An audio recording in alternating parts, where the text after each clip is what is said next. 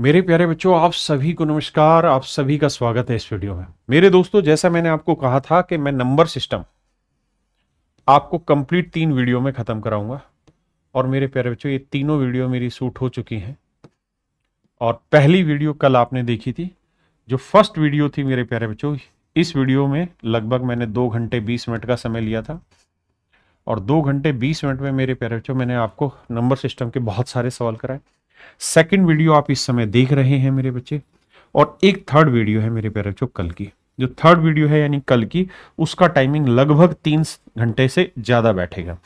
तो मेरे प्यारे बच्चों, ये कंप्लीट तीनों वीडियो आपके पूरे नंबर सिस्टम को खत्म कर देगी और आपके सामने सारे अच्छे अच्छे सवाल हैं। मेरे दोस्तों, आप जब भी पढ़ने बैठे तो आप सबसे पहले क्लास नोट्स का प्रिंट आउट ले लिया करें या फिर आप पीडीएफ निकाल लिया करिए, और क्वेश्चंस की पीडीएफ निकाल लीजिए। तो क्वेश्चंस की पीडीएफ और क्लास नोट्स की पीडीएफ आपको कहाँ से मिलेगी? मेरे बच्चे, मेरा व्हाट्सअप चैनल है राकेश यादव सर। वहाँ पे आप जाइए और वहाँ से आप क्वेश्चन की पीडीएफ निकाल लीजिए मेरे बच्चे। और इस चैनल को भी हो सके, आपको ठीक लगे तो फॉलो कर लीजिए। अब मेरे प्यारे बच्चों, अगली बात पे आते हैं। देखो यार, मैं आपके साथ सुबह से शाम तक लग के सारी वीडियो रिकॉर्ड करता हूँ, बाकायदा फिर एडिटेड करवाते हैं क्लास नोट्स लिखते हैं, बहुत सारी मेहनत लगती है। मैं आपसे सिंपल एक चीज़ कहता हूँ। मेरा हमेशा से एक मूल मंत्र रहा है कि यार हम अपना मैथ स्पेशल बैच पढ़ाते हैं फाउंडेशन प्लस सिलेक्शन बैच आता है मेरा। मैं आपको free of cost means batch पढ़ाने लग रहा हूँ और पूरा बैच पढ़ाऊँगा, आपको सोचने की भी ज़रूरत नहीं है। और मैंने रिसर्च करके देखा कि लगभग दस लाख बच्चा ऐसा है जो मीन्स की तैयारी करेगा, चाहे वो C H S L means हो या सीजल मीन्स हो। तो मेरा अनुमान से बहुत ज़्यादा बच्चा है, दस लाख बच्चा है जो मीन्स की तैयारी कर रहा है। और आज के समय में किसी भी जगह आप मीन्स पढ़ेंगे। किसी भी टीचर के पास पढ़ेंगे तो लगभग फ़ीस है मेरे बच्चे एक हज़ार। तो आपको अंदाज़ा आ गया होगा कि दस लाख बच्चों का हज़ार रुपए के हिसाब से फ़ीस लोगे तो सौ करोड़ के आसपास की मार्केट है मेरे बच्चे मीन्स की। और मैं पूरे का पूरा कंप्लीट मीन्स आपको फ्री ऑफ़ कॉस्ट यहाँ पे पढ़ाने लग रहा हूँ मेरे बच्चे। तो मैं बस एक ही चीज़ आप लोगों से चाहता हूँ, और वो मेरे बच्चे एक सिंपल चीज़ है कि आप वीडियो को शेयर कर दीजिए। क्योंकि आप शेयर कर देंगे तो उन दस लाख बच्चों तक हमारी बात पहुँच पाएगी, उनका पैसा बचेगा। और जब उनका पैसा बचेगा मेरे प्यारे बच्चों तो वो हमें दुआ देंगे। और मुझे दुआ देंगे तो आने वाले बच्चों को वो मेरे बैच के बारे में रेफर कर पाएँगे, मेरे फाउंडेशन प्लस सिलेक्शन बैच जिसकी फ़ीस मात्र नौ सौ निन्यानवे रुपए, उसके बारे में बता पाएँगे। देखिए, हम आपके लिए एफर्ट कर रहे हैं इस उद्देश्य से कि हम आपकी जर्नी में एक बहुत बड़ा रोल प्ले करें। तो मेरे प्यारे बच्चों अब हम आगे बढ़ते हैं और मैं ये पूरी उम्मीद करता हूँ कि आपको आज का सेशन भी बहुत पसंद आएगा। देखिए, आप अपनी तरफ़ से अप्रिशिएशन ज़रूर करिए अगर आपको चीज़ें ठीक लगती हैं। और मेरे प्यारे बच्चों, अगर किसी भी क्वेश्चन में आपको लगता है कि सर इसको और अच्छे से एक्सप्लेन करें तो आप प्लीज़ कमेंट में डाल दिया करें। हम कमेंट पढ़ते हैं। उसकी रेमेडियल वीडियो बना के मैं अलग से डाल दूँगा कि इस क्वेश्चन का बेसिक ये था। तो आइए मेरे बच्चे, अब सवाल पर आते हैं। मेरे प्यारे बच्चों, ये सवाल है यूपीएससी सी सेट दो हज़ार तेईस का। ध्यान देना, सवाल बहुत बढ़िया है और हम यहाँ से धीरे धीरे कोशिश करके एक पैटर्न पकड़ने की कोशिश कर रहे हैं। उस पैटर्न को समझाने की कोशिश करता हूँ, देखिए मेरे बच्चे। सवाल में कह रहा है, दस से सौ तक सभी पूर्णांकों में आने वाले सभी अंकों का योग क्या होगा? मैं आपसे ये जानना चाह रहा हूँ कि मेरे बच्चे, अगर मैं ज़ीरो से गिनती शुरू करूँ ज़ीरो, एक, दो, तीन, चार अगर मैं ऐसे गिनती शुरू करूँ मेरे प्यारे बच्चों, इस तरीके से मैं गिनती शुरू करूँ तो मैं आपसे ये जानना चाहता हूँ, इनका योग कितना होगा? तो आप कहेंगे, ये तो sir sum of first n natural number formula होता है n into n plus one by two तो नो है तो नो और एक दस, नौ गुना दस बटे दो। यानी सर इनका जोड़ जो आएगा वो पैंतालीस आएगा। तो बस इतनी बात समझिए कि ज़ीरो से लेके नौ तक का जोड़ रहता है पैंतालीस। अब मेरे बच्चे, में गिनती लिख रहा हूँ आगे। ग्यारह से। ग्यारह, बारह, तेरह, चौदह, और ऐसे में लेके जा रहा हूँ मेरे बच्चे उन्नीस तक। अगर मैं आपको ये कहूँ कि यार इनका जोड़ बताओ क्या होगा? तो कुछ नहीं है मेरे बच्चे, ये वाली कहानी तो सेम चल ही रही है है ना? बस एक कहानी अलग से है और वो ये कि एक एक एक एक एक एक ये एक्स्ट्रा आने लग रहा है। और ये गिनती लेंगे हम कहाँ से? दस से। दस से लेकर उन्नीस तक की गिनती लोगे तो इनका जोड़ आ जाएगा मेरे बच्चे पचपन, क्योंकि ये एक जो है ये दस बार एक्स्ट्रा आ गया यानी दस बढ़ जाएगा। ऐसे मेरे बच्चे में गिनती लू बीस से बीस, इक्कीस, बाईस, और ऐसे चलते चलते मैं आ जाऊँ उनतीस। और मैं कहूँ कि इन सारे अंकों का योग बताओ तो क्या होगा? पैंसठ। यानी बेसिक सी स्टाइल ये है कि हर बार जोड़ दस दस बढ़ता चला जाएगा, और कुछ भी नहीं। हमसे सवाल में उसने ये कहा कि भाई दस से लेके सौ तक सभी पूर्णांकों में आने वाले सभी अंकों का योग क्या होगा? तो आपको एक बात समझनी है। दस, ग्यारह और कहाँ तक? उन्नीस तक अगर इस गिनती को जोड़ोगे तो यह आएगा पचपन। पीछे समझाया? इसके बाद बीस वाली गिनती लोगे तो आएगा पैंसठ। तीस वाली लोगे पिछहत्तर और ये गिनती कहाँ तक जानी है मेरे प्यारे बच्चों? नब्बे तक। तो नब्बे, इक्यानवे, बानवे, तिरानवे, निन्यानवे तक जाओगे। इसका जोड़ कितना आएगा मेरे प्यारे बच्चों? अब अगर आप ये जोड़ समझ गए तो फिर कहानी सारी आसान बन जाएगी। अब मुझे ये देखना कि यार, दस के बाद कितनी ऐसी गिनती लाइनें आएँगी? तो सर, अब 10 से लेकर नब्बे तक नौ लाइनें, लेकिन एक तो ये हो ही गई तो आठ लाइनें और आएँगी। और हर बार दस दस जोड़ बढ़ता चला जाएगा तो आठ बार में पचपन जमा आठ गुना दस, अस्सी जोड़ बढ़ जाएगा।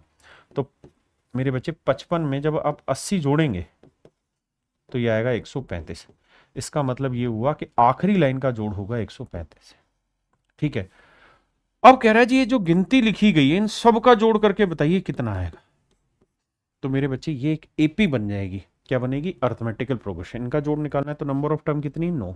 नाइन बाई टू इंटू में फ़र्स्ट टर्म पचपन प्लस लास्ट टर्म एक सौ पैंतीस। अब देखिए जी सोल्व करेंगे तो नौ बटे दो और इन्हें जोड़ेंगे पाँच तीन आठ एक नब्बे, है ना? दो से काटेंगे मेरे बच्चे, दो नीम अट्ठारह दो पाँजे दस, पिचानवे। नौ से गुना करेंगे नौ पंजे पैंतालीस और नौ नीम इक्यासी और चार, पिचासी। आठ सौ पचपन। मेरे प्यारे बच्चों 855 मेरा आंसर होगा। अगर मैं गिनती 10 से लेकर निन्यानवे तक लिखूं और उनके सभी पूर्णांकों मतलब जितने भी अंक आ रहे हैं, उन सबका जोड़ करूँगा तो उत्तर इतना है। लेकिन मुझसे कह रहा है कि 10 से लेकर 100 तक तो निन्यानवे तक कहानी बता दी, अब 100 में क्या होगा? तो इसके अंकों का जोड़ एक ज़ीरो ज़ीरो का क्या है? मतलब एक ज़ीरो ज़ीरो का एक आया। तो यानी मेरा सही उत्तर होगा आठ सौ छप्पन। एक बार आपने ये सवाल समझ लिया, दोबारा अब आपको दिक्कत कभी नहीं होगी। हमेशा ध्यान रखना है कि ज़ीरो से लेके नौ तक की गिनती करोगे पैंतालीस। उसके बाद हर बार अगली लाइन में दस दस जोड़ बढ़ता चला जाएगा। तो चाहे जितनी भी गिनती तक जा रहे हैं, इसी कॉन्सेप्ट से आपने चीज़ों को समझना और आगे बढ़ते चले जाना आइए तो मेरे बच्चे, अगला सवाल है। ये है सीडीएस 2021 का सवाल सवाल में कह रहा है n raise to power p minus one और माइनस वन कह रहा भाई पी का गुणज है। इसे इंग्लिश में पढ़ोगे, ज़्यादा समझ पाओगे। कह रहा जी, ये वाली जो एक्सप्रेशन है, ये मल्टीपल है पी का। यानी ये वाला एक्सप्रेशन पी का मल्टीपल है। जहाँ एन पी का अभाज्य एन पी का भाज्य मतलब एन और पी दोनों को प्राइम नंबर है, जिनमें कुछ भी कॉमन नहीं आता। अगर मेरे बच्चे एन और पी दोनों को प्राइम नंबर है, जिनमें कुछ भी कॉमन नहीं आता है तो आपको ध्यान ये रखना कि हम एन और पी की जो भी वैल्यू लेंगे, वो ऐसे लेनी जिसमें कुछ भी कॉमन ना है तो सवाल में कह रहे कि पी एक होगा, पी हमेशा ही एक नंबर होगा, प्राइम होगा, रेशनल होगा, रियल नंबर होगा, कंपोजिट नंबर होगा। तो देखिए यार, ऑप्शन बहुत आसान दे रखे हैं। अगर आप रियल नंबर उठा लेते हैं तो रियल नंबर के अंदर रेशनल भी आता है कंपोजिट भी आता है प्राइम भी आता है है ना? तो फिर इन तीनों ऑप्शन का कुछ रिलेवेंस बच ही नहीं जाएगा। अगर मैं ये कर रहा हूँ तो ये भी आंसर होगा, ये भी आंसर होगा, ये आंसर होगा। ऐसे ही मेरे प्यारे बच्चों, अगर मैं रेशनल नंबर आंसर चूज़ करता हूँ तो ये भी आंसर हो जाएगा, ये भी, क्योंकि ये भी रेशनल नंबर होते हैं। तो ऐसे सवाल में बहुत ज़्यादा संभावना होगी आपको कि ना ये आंसर मिलेगा, ना ये आंसर मिलेगा। इन दोनों में से कोई एक आंसर मिलेगा। यानी पी या तो एक प्राइम नंबर लेना है या एक कंपोजिट नंबर लेना है। और ध्यान ये रहे कि दोनों के दोनों कंपोजिट को प्राइम हो तो मैं एन का मान दो ले लेता हूँ समझाने के लिए और पी का मान तीन ले लेता हूँ। आइए जी देखते हैं। अब एन का मान अगर मैं दो लूँ और पी का मान मैं तीन ले रहा हूँ तो तीन में एक गया दो दो की पावर दो माइनस एक, यानी चार चार में गया तीन। तो क्या ये जो नंबर है, उसने कहा था ना कि ये एक्सप्रेशन पी का मल्टीपल है तो क्या ये तीन का मल्टीपल है? हाँ है। मतलब मैंने पी अगर प्राइम नंबर लिया तो ये मल्टीपल हो रहा है। अब मैं ले रहा हूँ कंपोजिट नंबर ले ले रहा हूँ कुछ भी। कैसे? जैसे मान लीजिए मैंने यहाँ पे इस बार मैं क्या कर रहा हूँ? यहाँ ले ले रहा हूँ तीन और यहाँ लेके दे रहा हूँ चार। तो चार मेरा क्या है? कंपोजिट नंबर है। रख के देखता और एन क्या है? तीन। तो ये आया तीन की पावर चार में से एक गया मेरे बच्चे तीन माइनस एक। तो तीन की पावर तीन सत्ताईस में एक गया छब्बीस। क्या छब्बीस जो है मेरे प्यारे बच्चों, वो पी का मल्टीपल है? आप कहेंगे नहीं। इसका मतलब मेरे बच्चे पी जो है वो कंपोजिट नंबर तो सेटिस्फाई नहीं करेगा। पी क्या सेटिस्फाई कर रहा है? प्राइम नंबर तो मेरे प्यारे बच्चों, मेरा ऑप्शन ए यहाँ पे राइट आंसर है। फिर से अपनी बात दोहरा दूँ। अगर मैं रेशनल पे टिक करूँगा तो प्राइम भी अपने आप ऑटोमेटिक टिक हो जाएगा और मुझे एक चुनना है। इसलिए किसी भी हालत में रेशनल नहीं हो सकता रियल नंबर नहीं हो सकता। है ना? क्योंकि हर रियल नंबर रेशनल भी होता है प्राइम भी होता है। मतलब रियल नंबर के ही ये तीनों टुकड़े समझ गए? आइए। सवाल में कह रहे हैं, यदि पाँच क्रमागत पूर्णांकों का योग एस है तो एस के पदमून में सबसे बड़ा पूर्णांक, आप देख रहे हैं वेरिएबल दिया हुआ है। मेरे बच्चे C H S L means का सवाल है। C H S L means का सवाल तो वेरिएबल आप अपनी तरफ़ से कुछ भी वैल्यू मान लीजिए। मैं मान लेता हूँ, पाँच क्रमागत संख्याएँ, एक, दो, तीन, चार, पाँच। कह रहे हैं, इन सब पाँचों क्रमागत संख्याओं का जो जोड़ है वो एस है। तो पाँच, चार, नौ, तीन, बारह, दो, चौदह और एक, पंद्रह। तो एस का मान क्या है मेरे बच्चे? पंद्रह। एस का मान क्या है? पंद्रह। अब कह रहा है, जी, ये जो सारी टर्म आपने लिखी है, इनमें सबसे बड़ा पूर्णांक कौन सा है? तो सबसे बड़ा पूर्णांक तो पाँच है। अब पंद्रह रख के देखो, कौन सा पाँच दे रहा पंद्रह में दस गया, पाँच बटे चार नहीं है। पंद्रह, पाँच, बीस। बीस को चार से भाग दोगे, पाँच। सेटिस्फाई कर गया। ये सेटिस्फाई कर रहा है मेरे बच्चे। हाँ जी, यहाँ रख के देखेंगे तो पंद्रह, दस, पच्चीस, चार से भाग ही नहीं जाएगा। पंद्रह और दस, पच्चीस। पच्चीस को पाँच से भाग देंगे, पाँच। यानी मेरे बच्चे, यहाँ तक ये तय हुआ कि ऑप्शन ए गलत है और ऑप्शन बी गलत है। सी और डी में से एक कॉन्ट्राडिक्ट करना है, एक को लेना होगा। नेक्स्ट टाइम क्या करते हैं यहाँ पे? मैं जो नंबर ले रहा हूँ, दो, तीन, चार, पाँच, छह ले ले रहा हूँ। क्योंकि कोई भी कंजुगेटिव पाँच प्राइम पाँच नंबर लेने। तो जोड़ कितना हुआ? पाँच, चार, नौ और तीन, बारह और दो, चौदह और छह, बीस। तो जोड़ आया बीस। यानी मेरे बच्चे एस का मान क्या आ गया? बीस। अगर एस का मान बीस है तो बीस और पाँच, पच्चीस पच्चीस, चार से भाग होके क्या छह देगा? कभी भी नहीं देगा। यहाँ देखते हैं। एस का मान बीस बीस को तीस, दस जोड़ा तीस तीस को पाँच से भाग दिया तो क्या छह दे रहा है? हाँ तो ये मेरा आंसर उसने ये पूछा, सबसे बड़ा पूर्णांक क्या होगा? तो मेरे बच्चे ऑप्शन डी आइए बाबू, ये है सीजीएल मीन्स 2022 का सवाल। सवाल में कह रहा है कि यार इस एक्सप्रेशन में आपको बताना है ए बी सी डी की वैल्यू क्योंकि जो ए बी सी डी की आएगी, वही यहाँ रख के वैल्यू निकलेंगे। तो सबसे पहले आप क्या करिए मेरे प्यारे बच्चों, इन सवालों को प्राइम फैक्टराइजेशन आपको करना होगा। क्या करना होगा भाई? प्राइम फैक्टराइजेशन करना होगा। अब आपको दिखाई दे रहा है कि आठ सौ सैंतालीस ग्यारह से भाग जा रहा है। कैसे? आठ और सात पंद्रह पंद्रह में चार गया, ग्यारह ग्यारह से भाग जा रहा है। तो इसके ग्यारह के टुकड़े बनाएँगे तो ग्यारह एकम ग्यारह ग्यारह सात सतहत्तर, और बच्चा कितना? सात। ग्यारह सात ग्यारह सात सतहत्तर। तो मेरे बच्चे, ये मेरा आंसर है। अब सतहत्तर को भी हम चाहें तो लिख सकते हैं ग्यारह गुना सात। आपने कहा, सर, बिल्कुल ठीक बात है। अब आते हैं मेरे बच्चे तीन सौ पिचासी। तीन सौ पिचासी को टुकड़े करें तो पाँच से जाएगा। पाँच सात पैंतीस और पाँच सात पैंतीस। फिर से सतहत्तर आ गया, यानी ग्यारह गुना सात आ गया। अब आते हैं मेरे बच्चे छह सौ पिचहत्तर, पाँच से जा रहा है तो पाँच अच्छा पाँच से नहीं, पच्चीस से चला जाएगा, क्योंकि पिचहत्तर है तो पच्चीस से भाग देंगे मेरे बच्चे तो पच्चीस होता है पाँच की पावर दो। तो पच्चीस से कम पच्चीस पच्चीस दूनी पचास, बचा कितना? सत्रह, पच्चीस आते एक सौ पचहत्तर तो सत्ताईस। सत्ताईस को लिख सकते हैं तीन की पावर तीन, क्योंकि प्राइम फैक्टराइजेशन करना है। अब आया तीन हज़ार पच्चीस। तीन हज़ार पच्चीस भी आप जान रहे पच्चीस से भाग जा रहा है है ना? पच्चीस से भाग जा रहा है, यानी पाँच की पावर दो से। तो पच्चीस से भाग देंगे मेरे बच्चे तो पच्चीस से कम पच्चीस बचा पाँच, पच्चीस दूनी पचास, पच्चीस से कम पच्चीस, और एक सौ इक्कीस होता है ग्यारह की पावर दो। अब इसको सेट करेंगे मेरे बच्चे तो तीन की पावर तीन ही है।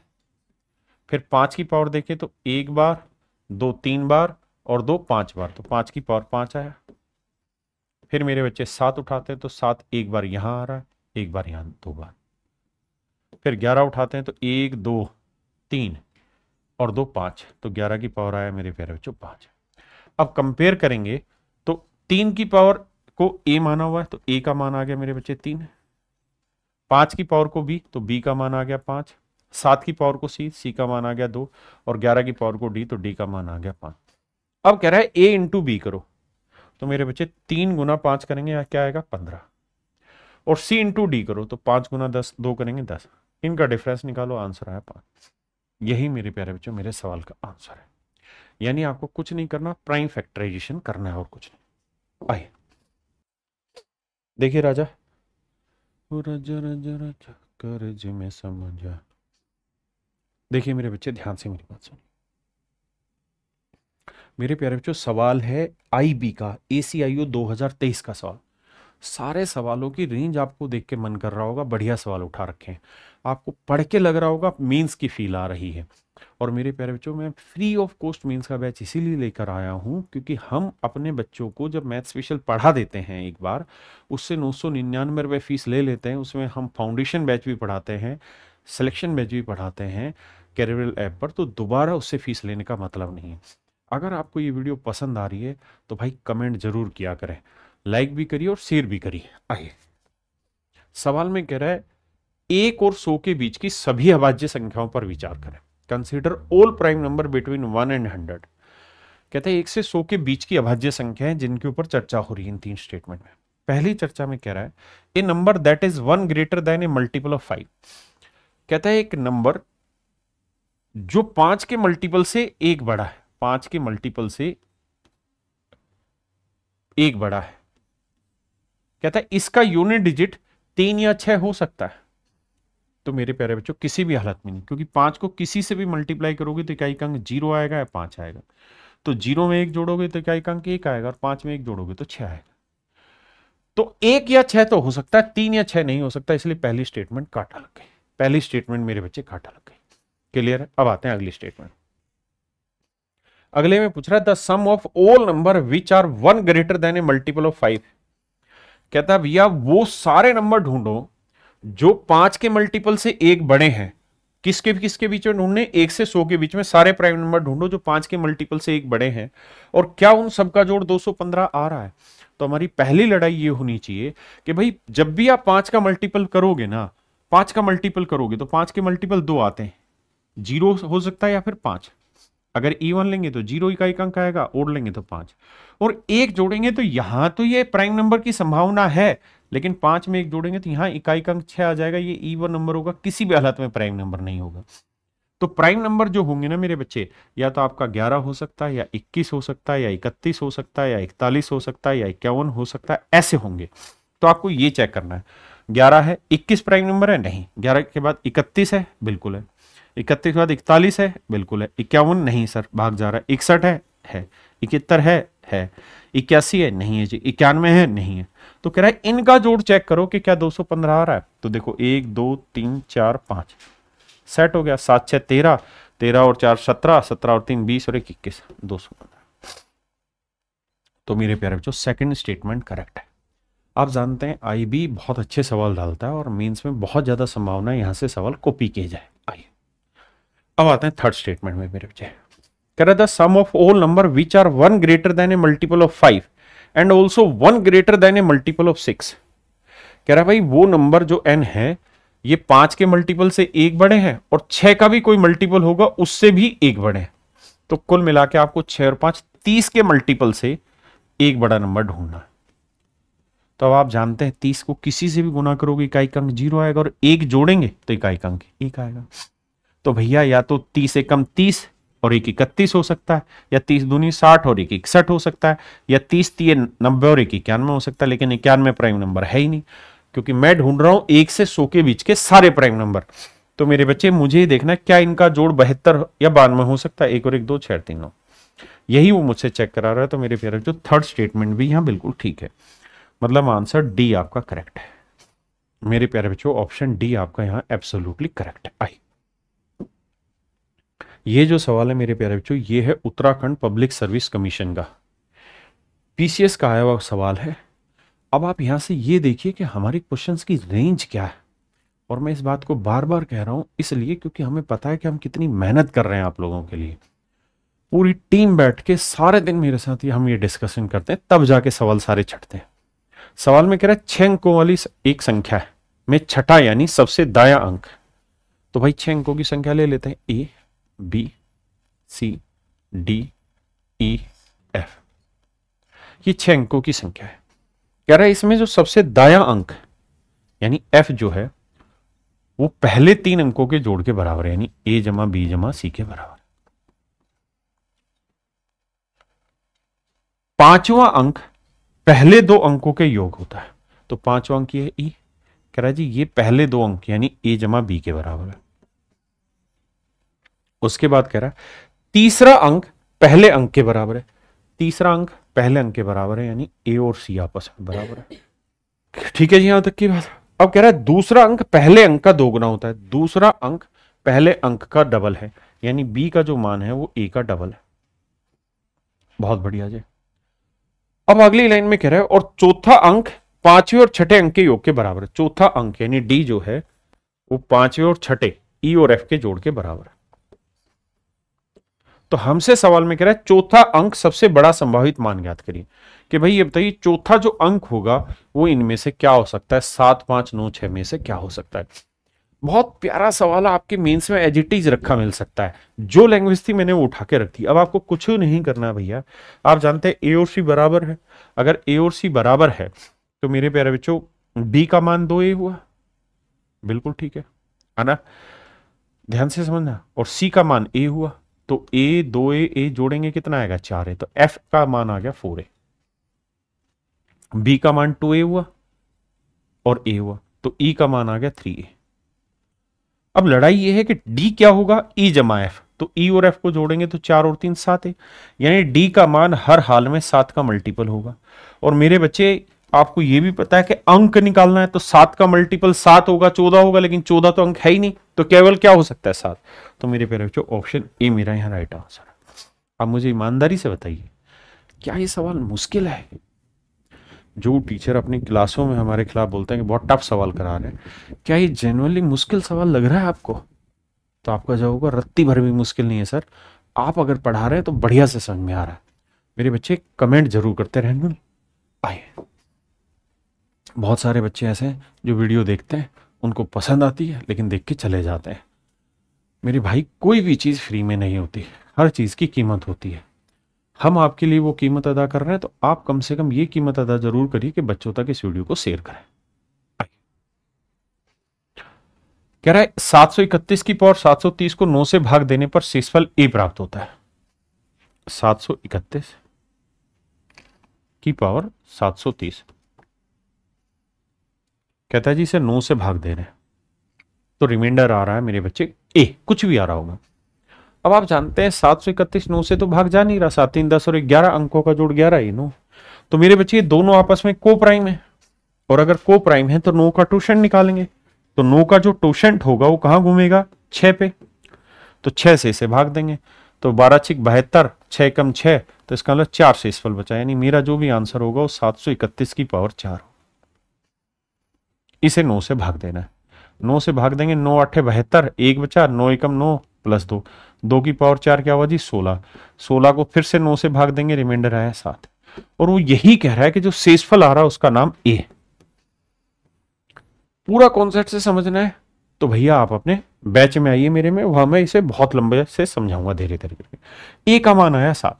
अब कह रहा है जी, ए की पावर ये इसका इकाई का अंक बताइए। तो ए का मान है सात।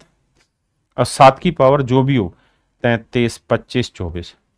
हमें यह पता है कि यूनिट डिजिट निकलना है, निकालना है तो चार की पावर पे साइकिल घूमता है। और चार की डिविजिबिलिटी का नियम होता है, आखिरी दोंग तो चौबीस पूर्णतः भाग हो रहे हैं। तो यूनिट डिजिट सात की पावर चार होगा, सात की पावर चार होता है, चौबीस सौ एक। इसका मतलब मेरे पैर बच्चों, इसका इकाई अंक एक होगा, यानी ऑप्शन सी ये है मेरे पैर बच्चों एस सी मीन्स का सवाल। S S C CGL means का सवाल।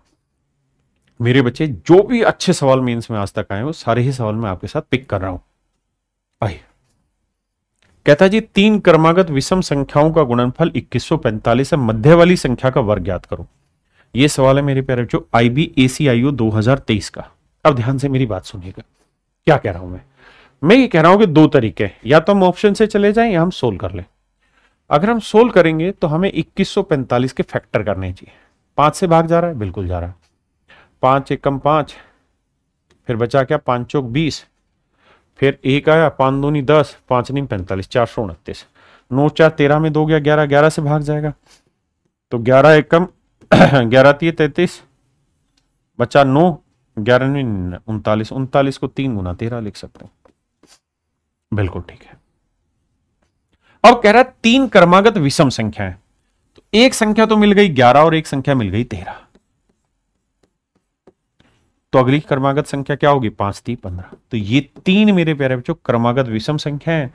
हमसे सवाल ने पूछा, बीच वाली संख्या का वर्ग बताओ तो तेरह का वर्ग एक सौ उनहत्तर होता है तो आंसर आया ऑप्शन ए दूसरा तरीका क्या है, सर? दूसरा तरीका ये है कि हम ऑप्शन ले लें।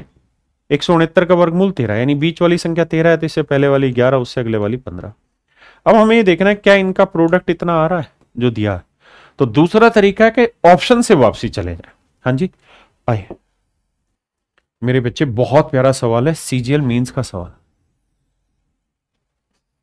मैं एक भी क्वेश्चन ऐसा नहीं ले रहा जो भाई याद हो। सारे सवाल आपके सीजीएल मीन्स के उठा रहा हूँ आईबी के उठा रहा हूँ यूपीएससी के उठा रहा हूँ सी सेट के उठा रहा हूँ पब्लिक सर्विस कमीशन के उठा रहा हूँ, क्योंकि ये सारे वहीं से सेट होते हैं सवाल। और आपको हु बहु ऐसे ही पेपर में ऐसे मिलेंगे। देखिए, अब मुझे एक बात बताना। बहुत सारे बच्चे इस बात को जानते हैं कि नहीं, आज पता कर लेते हैं। एक फैक्टोरियल दो फैक्टोरियल तीन फैक्टोरियल चार फैक्टोरियल मेरे बच्चों, एक बात हमेशा ध्यान रखना। चार फैक्टोरियल ऐसा नंबर है जो चार से भाग हो जाता है। चार फैक्टोरियल चार से भाग हो जाता है। तो इसके बाद जितने भी नंबर है ना, सारे चार से भाग होने तो जब भी ऐसे फैक्टोरियल को चार से भाग देना हो तो मेरे बच्चे चार से पहले वालों को सोल्व करना और कुछ नहीं करना। जैसे, एक फैक्टोरियल का मतलब एक, दो फैक्टोरियल का मतलब दो दो एकम दो और तीन का मतलब छह। तो छह दो, आठ एक नौ। नौ को चार से भाग दो, चार दूनी आठ शेषफल आया एक। यही है मेरे बच्चे यूनिट डिजिट का खेल। अब यहाँ आपको ये ध्यान देना है कि भाई ये जितनी भी पावर लिखी हुई है, इन सबको चार से भाग दोगे शेषफल आएगा एक। तो तीन की पावर एक यूनिट डिजिट तीन। इसे चार से भाग दोगे, शेषफल आएगा एक, आठ की पावर एक, आठ। इसे भाग दोगे, शेषफल आएगा एक, चार से। समझ रहे नहीं? एक है। तो मेरे प्यारे जो सात की पावर एक, सात। अब इन्हें जोड़ना है तो आठ और तीन, ग्यारह, आठ, सात, पंद्रह, पाँच और एक, छह। ना, कितना आठ सात, पंद्रह, पाँच, तीन, अठारह, आठ। तो मेरे प्यारे बच्चों, मेरा यूनिट डिजिट आया आठ। समझे कि नहीं राजा? आइए। देखिए भैया अब आप ये बात जानते हैं कि पाँच की आप जो मर्ज़ी पावर लगाओ, पाँच ही रहेगा यूनिट डिजिट नौ की पावर चेक करनी तो चौसठ की पावर इकतीस। क्या है सर, ये इवन पावर है। और नौ की इवन पावर पे यूनिट डिजिट एक रहता है, क्योंकि नौ की पावर दो इक्यासी समझो, एक आ गया। छह की जो मर्ज़ी पावर रखो यूनिट डिजिट छह रहेगा। अगर पाँच फैक्टोरियल से बड़ी वैल्यू है तो यूनिट डिजिट चार फैक्टोरियल से बड़ी वैल्यू तो इकाई का अंक ज़ीरो होगा, और यहाँ छह की जो मर्ज़ी पावर रखो, छह ही आना इन सबको जोड़ोगे तो पाँच रेख छह छह छह, बारह, छह, अठारह यूनिट डिजिट आएगा आठ। भाई अट्ठारह जोड़ा है ना तो इकाई अंक आठ है ना राजा। पक्की बात है? तो मेरे प्यारे बच्चों, मेरा यूनिट डिजिट आया आठ। हा है ना? आइए। मेरे प्यारे बच्चों, ये सवाल है यूपी सब इंस्पेक्टर का। यूपी सब इंस्पेक्टर का। हम किसी भी एग्ज़ाम को नहीं छोड़ रहे हैं। पूरा रेलवे रगड़ रहे हैं, सब कुछ रगड़ रहे हैं। जो अच्छा सवाल मिल रहा है, सारी जगह से पिक कर रहे हैं मीन्स के लिए। आइए। देखिए मेरे बच्चे एक बात ध्यान से समझिए। हमें यूनिट डिजिट चेक करना है तो पावर को चार से भाग देना है। आप कहेंगे, जी, बिल्कुल सही बात है। पावर को चार से भाग देना है। ये बताओ, एक फैक्टोरियल की पावर एक, यानी एक की पावर एक। दो फैक्टोरियल मतलब दो की पावर दो। तीन फैक्टोरियल मतलब छह की पावर छह। चार फैक्टोरियल होता है चौबीस। तो चौबीस की पावर चौबीस।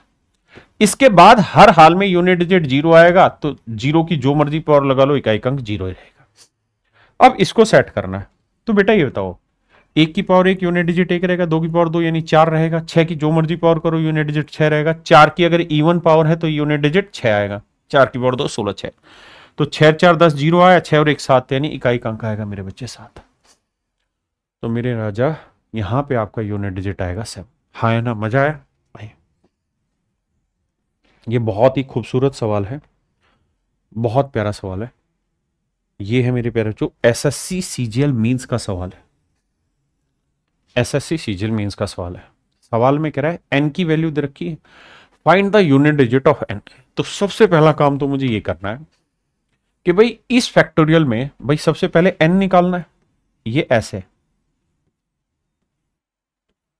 ऐसे यहाँ एन है, यहाँ एन है, यहाँ एन है। ऐसे कहानी कह रहा है मेरे बच्चे। हाँ है ना? और कुछ नहीं कह रहा, बस यही बात कहने लगा। अब मुझे एक बात बताओ। सबसे पहले बताओ कि एन को सोल्व करेंगे तो इकाई का अंक क्या आएगा? तो आप कहेंगे, देखो सर, यहाँ पाँच पकड़ोगे तो पाँच फैक्टोरियल से सारी वैल्यू का यूनिट डिजिट ज़ीरो बस इसको सोल्व करना है। चार की, चार फैक्टोरियल की वैल्यू चौबीस, इकाई का अंक चार, तीन फैक्टोरियल की वैल्यू छह, दो एक। यहाँ इकाई का अंक देखेंगे, छह, चार, दस ज़ीरो आया, दो, एक, तीन। यानी इस एन जो नंबर है, इसका हर हाल में इकाई का अंक तीन आएगा। एन जो नंबर है मेरे बच्चे, इसका इकाई का अंक तीन। अब मेरे बच्चों, दिमाग ये दौड़ाना हमने कि यहाँ तीन है तो तीन की आप जो मर्ज़ी पावर रखो। इकाई का अंक या तो तीन आ सकता है, या फिर नौ आ सकता है, या सात आ सकता है, या एक आ सकता है। तीन, नौ, सात, एक के अलावा कोई यूनिट डिजिट नहीं बनेगा। तो पहली ही नज़र में आठ इकाई का अंक नहीं हो सकता, छह नहीं हो सकता। यानी तुक्केबाजी करनी तो ए और सी मेरा राइट आंसर है। अब मेरे बच्चों, एक बात बताना। अब हमें करना क्या है? हमें अब ये करना है, सर, कि इस सारे सेगमेंट को सोल्व करना है। और इसे चार से भाग देना है। इस पूरी कहानी को चार से भाग देके देखना है, क्या रिमाइंडर आएगा। तो मेरे बच्चे एन का मतलब है एक फैक्टोरियल दो फैक्टोरियल तीन फैक्टोरियल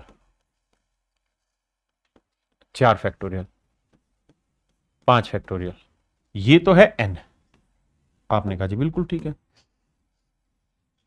ये तो है मेरे बच्चे एन और सच बात है, ये इसकी पावर है।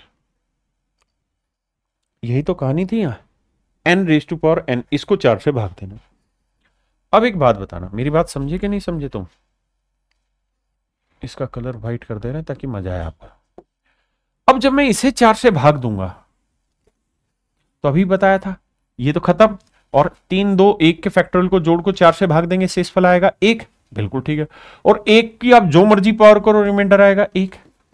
इसका मतलब मेरे प्यारे बच्चों, ये हुआ कि एन की पावर एन करोगे तो ये रिमाइंडर आएगा वन इसका मतलब तीन की पावर एक बचा। तीन की पावर एक बचा मतलब यूनिट डिजिट आएगा तीन। तो मेरे प्यारे बच्चों ऑप्शन थ्री मेरा राइट आंसर मैं आपको दोनों चीज़ें बता रहा हूँ। तुक्केबाजी भी, पूरा कॉन्सेप्चुअल पार्ट भी। मज़ा आ रहा है? तो एक ही काम करना है। वो आपको पता है। आइए। सवाल में कह रहा है एक्स और वाई पूर्णांक है। मेरे प्यारे बच्चों, ये सवाल रिपीटेड है। किस चीज़ से? ये सीजीएल में भी पूछा हुआ है और जी मैट में भी पूछा हुआ है। हमने ये जी मैट से उठाया।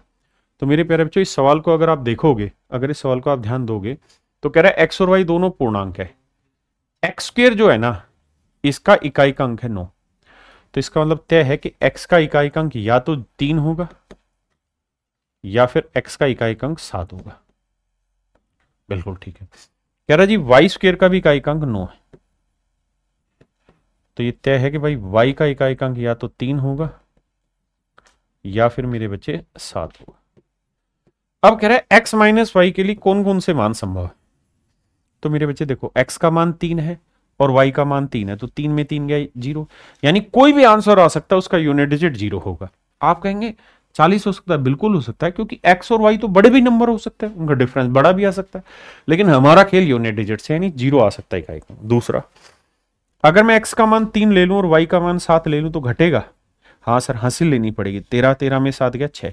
यानी सर, छह भी आ सकता है। ये भी संभव है। सर, हम ऐसा भी तो कर सकते हैं कि एक्स का मान सात ले ले और वाई का मान तीन ले ले तो सात में तीन गया चार। हाँ सर, चार भी संभव है। लेकिन उसने मुझसे पूछा क्या? उसने मुझसे पूछा, कौन सा नहीं हो सकता? तो जो संभव नहीं है, वो मेरे प्यारे बच्चों ऑप्शन डी जो संभव नहीं है, मेरे प्यारे बच्चों, वो है ऑप्शन डी जो संभव नहीं है, मेरे बच्चे, वो है ऑप्शन डी यानी डी नहीं हो सकता, बाकी सब हो सकता है। देखिए मेरे भाई, सवाल में जी मैट का क्वेश्चन है एसएससी भी आपसे पूछ सकता है। सवाल में कह रहा है, जब तीन की पावर बत्तीस को पचास से भाग देते हैं। तीन की पावर बत्तीस को पचास से भाग देते हैं। तो कहता है कि जी, इसका जो एक्सप्रेशन आता है, वो ऐसा आता है ए बी सी डी और लास्ट में जाके डेसिमल के बाद दो अंक आते हैं एक्स और वाई आपने कहा जी, ठीक है। तो कहता है, इसको इस प्रारूप में जब हम लिखेंगे तो वाई का मान क्या हो सकता है, ये हमसे पूछ रहा है। देखिए, सवाल बहुत प्यारा है। हर क्वेश्चन को करने का एक ही तरीका मेरे बच्चे, पहले वीडियो को रोकिए, सवाल खुद करिए। अब मैं समझाता हूँ।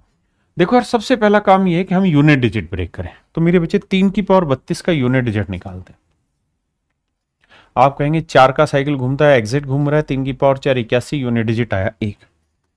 इसका मतलब सर इसको जब हम सोल्व कर रहे होंगे, तीन की पावर बत्तीस को तो सोल्व होते होते होते होते यहाँ यूनिट डिजिट आ रहा होगा एक यूनिट डिजिट आ रहा होगा एक। यानी तीन की पावर बत्तीस को जब हम सोल्व करेंगे तो इकाई का अंक एक आएगा और बटे आएगा पचास। अब मुझे यह पता है कि मुझे आखिरी में दो डिजिट चाहिए डेसिमल के बाद तो मुझे नीचे सो लाना होगा। तो सो लाने का नियम यह कि इधर दो से गुना करो, इधर दो से गुना करो। तो मेरे बच्चे, ये तय रहा कि इसे सोल्व करते करते इसका इकाई का अंक आएगा दो। और नीचे आएगा मेरे बच्चे पचास दुनी सो। तो जब डेसिमल में लेके जाओगे तो ये डिजिट क्या आएगा मुझको नहीं पता, लेकिन ये तय है कि इससे अगला जो डिजिट आएगा वो दो आएगा। भाई दो ज़ीरो है ना? तो जब भाग दोगे तो एक और एक दो, यानी एक अंक, ये हो गया, एक अंक और छोड़ना होगा और उसके बाद डेसिमल आएगा। तो उसने यही नाम तो एक्स वाई दिया है मतलब वाई का मान क्या है मेरे बच्चे दो? तो सवाल में यही आपसे पूछा वाई का मान क्या है? मेरे प्यारे बच्चों, ईमानदारी से मुझे बताइए। क्या इस सवाल पे हमें क्रिटिसाइज किया जाना ठीक है? लोग अपने क्लासेस में कह रहे हैं मैट के क्वेश्चन करा रहे हैं जी मैट के करा रहे हैं। क्या इस सवाल में मुझे क्रिटिसाइज करना ठीक लग रहा है आपको? आपको लग रहा है ये सवाल बहुत मुश्किल है? या आपको लग रहा है कि ये सवाल बहुत आसान है और मज़ा आ गया सर समझ के? जल्दी से कमेंट करके मुझे भाई बताओ, क्योंकि आपका अप्रिशिएशन ही आपको आगे फ़ायदा दिलाएगा। देखिए मेरे बच्चे सवाल में ये कह रहा है एक्स और वाई संख्या इतने इतने के इकाई के, कि इकाई स्थान के अंक है, यानी एक्स और वाई डिजिट है। और सवाल में कह रहा है कि एक्स और वाई दोनों बराबर नहीं है, ये बात भी ठीक है। इसकी पावर तिरसठ और इसकी पावर पिचासी के इकाई स्थान का अंक समान है। देखो मेरे बच्चे। चार ज़ीरो आठ एक्स इसकी पावर तिरसठ है। और मेरे बच्चे सात आठ नौ वाई इसकी पावर पिचासी। मेरे बच्चों, सवाल में ये कह रहा है, दोनों का यूनिट डिजिट सेम है। तो यूनिट डिजिट निकालने के लिए इनकी तो ज़रूरत ही नहीं है। ना इनकी ज़रूरत है। समझदार को इशारा ही काफ़ी है। तो मेरे प्यारे बच्चे, ये बताओ यूनिट डिजिट निकालने के लिए चार से भाग देना होता है पावर को, चार से भाग देंगे, साठ जाएगा यानी एक्स क्यूब आया। और यहाँ मेरे बच्चे वाई इसे चार से भाग देंगे, चौरासी चला गया, एक तो वाई की पावर एक। तो एक्स और वाई मेरे बच्चे, ऐसे दो नंबर हैं जिनमें एक का क्यूब दूसरे की पावर एक के बराबर आ रहा है। अब मुझसे पूछा क्या है? मुझसे पूछ रहा है what will be possible value of x plus y कह रहा है एक्स प्लस वाई का संभव मान क्या हो सकता है? तो आप ये देखिए दिमाग दौड़ा के कि भाई किसी का क्यूब करें। मान लेते एक नंबर ले लेते एक अगर एक का क्यूब करेंगे तो यूनिट डिजिट एक आएगा। बिल्कुल ठीक है। आपने कहा जी बिल्कुल ठीक है। तो वाई की वैल्यू क्या लेनी होगी? सर वाई की वैल्यू फिर एक लेनी होगी। अगर मैं x का मान एक ले लूँ तो एक का क्यूब एक लेकिन y का मान एक लूँगा तो एक की वैल्यू एक आएगी। लेकिन सवाल ने कहा कि भाई x और y दोनों बराबर नहीं है। y बराबर नहीं और पावर यहाँ एक बच रही है तो एक एक तो नहीं होगा। अगर मैं इसे दो ले लूँ तो x का मान दो ले लेता हूँ तो दो का क्यूब कितना आया? आठ। तो भाई y का मान मैं आठ ले सकता हूँ, आठ की पावर एक आठ आ गया। यानी x का दो ले लूँ, y का आठ ले लूँ तो सेट हो रहा है, जो कि चाहिए। तो कह रहा है एक्स प्लस वाई का क्या मान हो सकता है? तो एक्स का दो और वाई का आठ ले लेते हैं तो उत्तर दस आ रहा है। और उसने ये थोड़ी कहा, कितने मान पॉसिबल हो सकते हैं। उसने कहा एक्स प्लस वाई का मान क्या संभव होगा? एक्स प्लस वाई के कितने मान संभव होंगे, ये नहीं कह रहा। कह रहा एक्स प्लस वाई का मान क्या पॉसिबल होगा? तो भाई, दो आठ पे सेट हो रहा है, हमने आंसर निकाल दिया अगर आप तीन लेंगे तो यहाँ सात आएगा। तीन और सात को भी सेट करेंगे मेरे बच्चे, तब भी जोड़ दस ही आना है। तो मेरे प्यारे बच्चों आंसर होगा मेरा दस। ये है मेरे बच्चे 2018 का। देखिए मेरे प्यारे बच्चों, ये सवाल है एसएससी सीएचएसएल मींस का सवाल है। बहुत प्यारा सवाल है, ध्यान से देखिए। सवाल में कह रहा है कि एक नंबर है एन और एन का मतलब ये है और कह रहा है जी, ये नंबर 11 का गुणा है मतलब 11 का मल्टीपल मतलब 11 से भाग हो रहा है।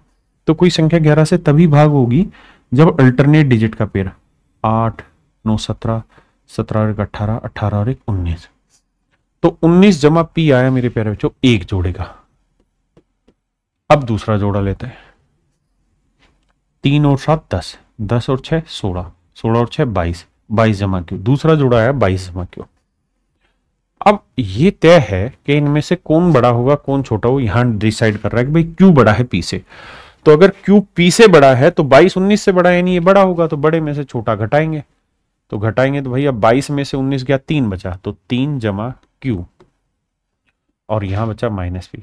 ये जो वैल्यू आनी चाहिए मेरे बच्चे, ये ऐसी वैल्यू आ जाए जो मेरा ग्यारह बना दे, ज़ीरो बना दे, बाईस बना दे, ऐसा कुछ अब क्यू की वैल्यू ध्यान है, ध्यान रखना क्यू और पी ज़ीरो नहीं हो सकते क्योंकि ज़ीरो से बड़े चाहिए। तो क्या ले सकते हैं? मेरे बच्चे, मैं ऐसा कर सकता हूँ कि भाई मैं इसे ज़ीरो बना लेता हूँ। अगर ज़ीरो बनाऊँगा तो आप जानते हैं क्यू माइनस पी कितना आ जाएगा? माइनस तीन।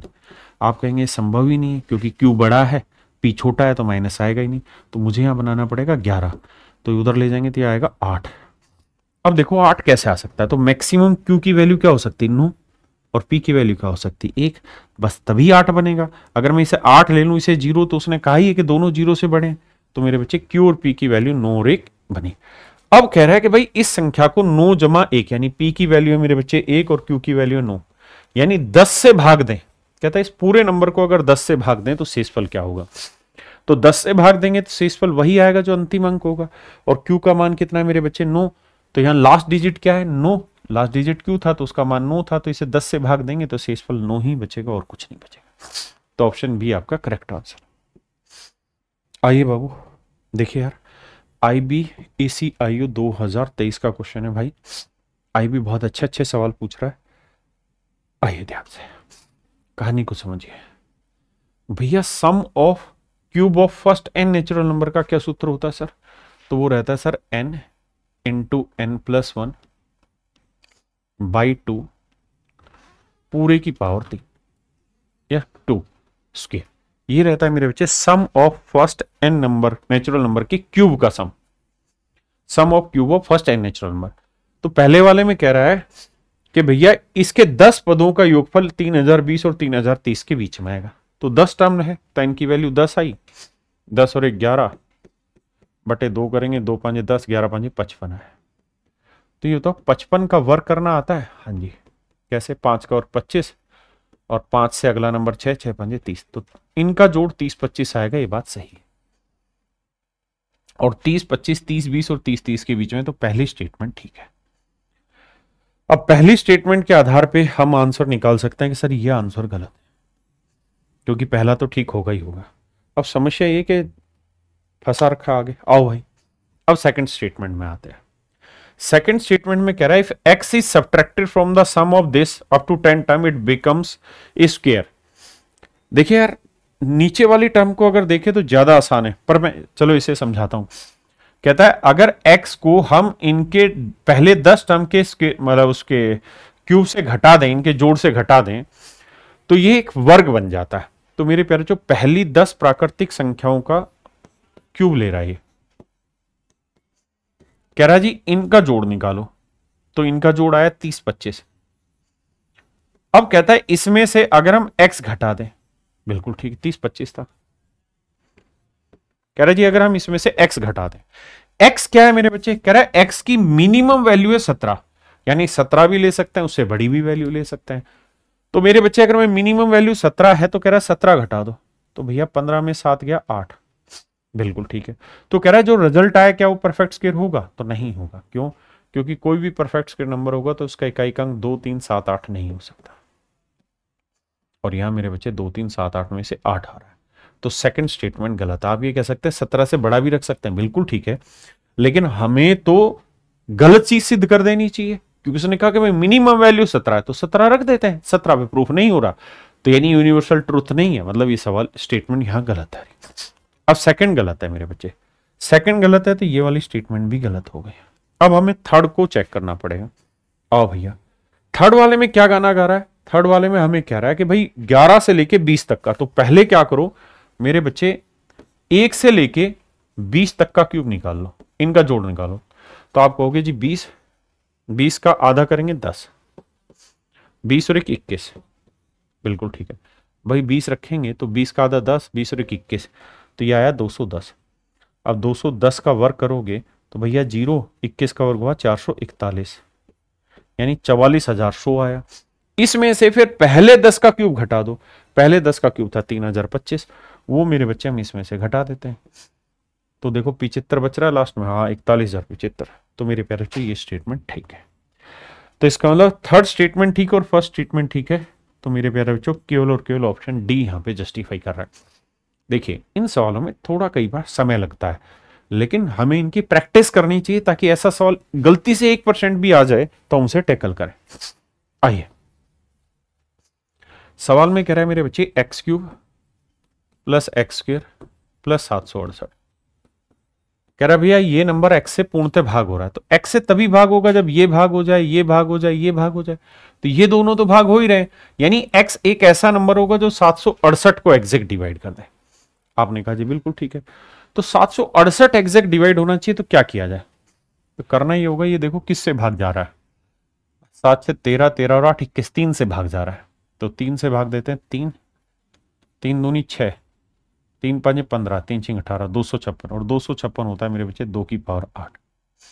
यानी 708 के टुकड़े हुए तीन की पावर एक और दो की पावर आठ। अब कह रहा है नंबर ऑफ़ फैक्टर बता देने हमें। भाई एक्स का मान, वो सब हो सकता है जो सात सौ अड़सठ के टुकड़े होंगे। तो सात सौ अड़सठ के टुकड़े क्या क्या हो सकते हैं? तो एक में एक जोड़ा दो और आठ में एक जोड़ा नौ। नौ दोनी अठारह। इसका मतलब मेरे प्यारे बच्चों, इसमें अठारह टुकड़े संभव है। मेरे नन्हे मुन्ने बच्चों, इसमें कितने टुकड़े संभव है? अट्ठारह टुकड़े मेरे प्यारे बच्चों, हमारे यहाँ पे पॉसिबल है। यानी एक्स की अट्ठारह वैल्यू संभव। देखिए यार, कह रहा है यार, इस रिज़ल्ट का इकाई अंक क्या होगा? तो मेरे बच्चे, आँख बंद करके एन की वैल्यू रखो। देखो, यहाँ ओड है पावर यहाँ पे भी ओड है पावर ओड यहाँ पे भी। लेकिन हमें एक बात तो पता है कि तीन और दो के यूनिट डिजिट जो है, वो ओड पावर से डिसाइड नहीं होते। यहाँ हर चार पावर पे चीज़ें बदलती हैं। तो एक बार मैं इनकी वैल्यू वन रख लेता हूँ। वन रखूँगा तो दो एक तीन तीन की पावर तीन यूनिट डिजिट सात या दो की पावर तीन यूनिट डिजिट आठ। आठ, सात, पंद्रह, इकाई अंक है पाँच। मैंने क्या किया मेरे बच्चे? इनका वैल्यू वन रखा। तो दो एक तीन, सात आया। दो एक तीन, आठ आया। तो यानी इकाई अंक पाँच तो हो सकता है और ये हमें ऑप्शन में दे रखें तो सी डी एस में आया था सवाल मेरे बच्चे। तो मेरा आंसर हो जाएगा फाइव कोई दिक्कत है? आइए भैया। देखिए यार, बहुत ही ज़बरदस्त सवाल है। मज़ा आ जाएगा आपको देख के। मेरे प्यारे बच्चों एसएससी सीजीएल मींस में पूछा गया सवाल है। सवाल में कह रहा है कि भैया ए प्लस बी की power A plus B A plus B कह रहा है, यार, ये 500 से एग्जैक्ट डिवाइड है। ये 500 से एग्जैक्ट डिवाइड है। तो यार ए और बी के संभावित मान ज्ञात करके बताइए क्या हो सकता है। देखिए मेरे बाबू, एक बात समझिए। इस पूरी कहानी को सोल्व करके, इस पूरी कहानी को सोल्व करके, हर हाल में मुझे ऊपर लास्ट के दो डिजिट तो ज़ीरो चाहिए ही चाहिए। उसी स्थिति में 500 इसे भाग दे पाएगा? यानी मुझे हर हाल में आखिरी दो अंक तो ज़ीरो ज़ीरो चाहिए। अगर मेरे बच्चे इसको सोल्व करके आखिरी दो अंक आगे मान लो, दो तीन आगे, ज़ीरो ज़ीरो के अलावा कुछ भी आगे तो कभी भाग होगा नहीं। या आखिरी अंक ज़ीरो लिख दिया तो भी ये कभी 500 से भाग होगा नहीं। यानी ये तय है कि हर हाल में मेरे प्यारे बच्चों, मुझे ए और इस पूरे रिज़ल्ट को सोल्व करके आखिरी दो अंक ज़ीरो ज़ीरो लाने अब आखिरी दो अंक ज़ीरो ज़ीरो कब आ सकते हैं? तभी आ सकते हैं पावर के गेम में, जब जो ए प्लस बी है, इसका यूनिट डिजिट ज़ीरो है। अगर इसका यूनिट डिजिट ज़ीरो है तो इसकी मैं कोई भी पावर करूँगा ज़ीरो और एक के अलावा कोई भी पावर करूँगा तो हर हाल में उत्तर में क्या आ जाएगा? अंतिम दो अंक ज़ीरो आ जाएगा। आपने कहा हाँ ठीक है। यानी पहली बात तो स्पष्ट ये तय हो गई कि बाबू ए प्लस बी का जो मान होगा, वो हर हाल में या तो दस होगा, या बीस होगा, या तीस होगा, या चालीस होगा, या जो मर्ज़ी होगा, लेकिन उसका अंतिम अंक ज़ीरो होगा और वो दस का मल्टीपल होगा। अब सवाल में ये कह रहा है कि भाई ए इंटू बी का न्यूनतम मान ज्ञात करिए। तो मेरे प्यारे बच्चों ए इंटू बी का न्यूनतम मान आप ऑप्शन में देख रहे हैं, आठ, नौ, दस, बारह आपने कहा। तो मेरे बच्चे, क्या इन ए और बी का जोड़ बीस हो सकता है? क्योंकि बीस के कोई भी दो टुकड़े करोगे तो उनका मल्टीप्लीकेशन कभी भी इतना छोटा नहीं आएगा। ये तो तभी बन रहा होगा जब ए प्लस बी का मान क्या हो, दस। अब यहाँ से एक लॉजिक ध्यान रखिएगा। अलजबरा जब मैं पढ़ाऊँगा तो आपको समझाऊँगा कि अगर मेरे बच्चे आपको ए प्लस बी दे रखा है गिवन है, और अगर मैं आपसे कहूँ कि मैक्सिमम वैल्यू बताओ ए इंटू बी की तो मेरे प्यारे बच्चे, तभी संभव होगी जब ए और बी बराबर हो या इनके बीच का डिफरेंस कम से कम हो। डिफरेंस कम से कम हो। एक तुक्के वाली बात बता रहा हूँ, छोटा लॉजिक कम से कम हो। लेकिन अगर मेरे प्यारे बच्चों, आपको ए इंटू बी की मिनिमम वैल्यू चाहिए तो ये तभी संभव है जब ए और बी का डिफरेंस ज़्यादा से ज़्यादा हो। ज़्यादा से ज़्यादा हो। ज़्यादा से ज़्यादा हो। अगर मेरे बच्चे ऐसा नहीं है तो ए इंटू बी कभी भी आपका मिनिमम नहीं आएगा। अब अपने सवाल में क्या पूछा है? अपने सवाल में ये कहा कि भाई what is the then the least possible value of A and B के भाई ए गुना बी की सबसे छोटी वैल्यू बताओ। तो ए गुना बी की सबसे छोटी वैल्यू तभी आएगी जब ए और बी का डिफरेंस सबसे कम होगा। तो भैया क्या ले सकते हैं? नो और एक ले लेते हैं। तो मेरे बच्चे नो एक कम नो तो इसका सबसे छोटा जो प्रोडक्ट आ सकता है मेरे बच्चे, वो नो आ सकता है। क्योंकि नो और एक के बीच का डिफरेंस सबसे बड़ा। आप सोच रहे हो कि दस और ज़ीरो ले लें तो संभव ही नहीं है। कारण क्या है? दस और ज़ीरो लोगे मेरे बच्चे। तो गुना करने में सारा ही सेटिंग आपकी ज़ीरो आ जाएगी। तो वो ज़ीरो है ही नहीं किसी भी ऑप्शन में। तो मेरे बच्चे डिफरेंस सबसे ज़्यादा लो तो दस को ऐसे दो टुकड़ों में तोड़ो जिनमें डिफरेंस सबसे ज़्यादा तो एक और नौ ही है तो उनका प्रोडक्ट आया नो तो इसका मतलब इसका आंसर होगा नो हर सवाल को सीखने का, करने का एक ही तरीका कि पहले आप खुद करें। है ना? फिर मेरी वीडियो को देखें। आइए।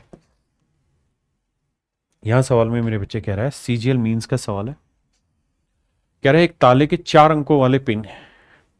और पिन का नाम है ए, बी, सी, डी। सवाल में कह रहा है कि बी जो है वो ए का डबल है और सी बी का डबल है और डी, सी का डबल है। तो दो गुना, फिर चार गुना, फिर आठ गुना।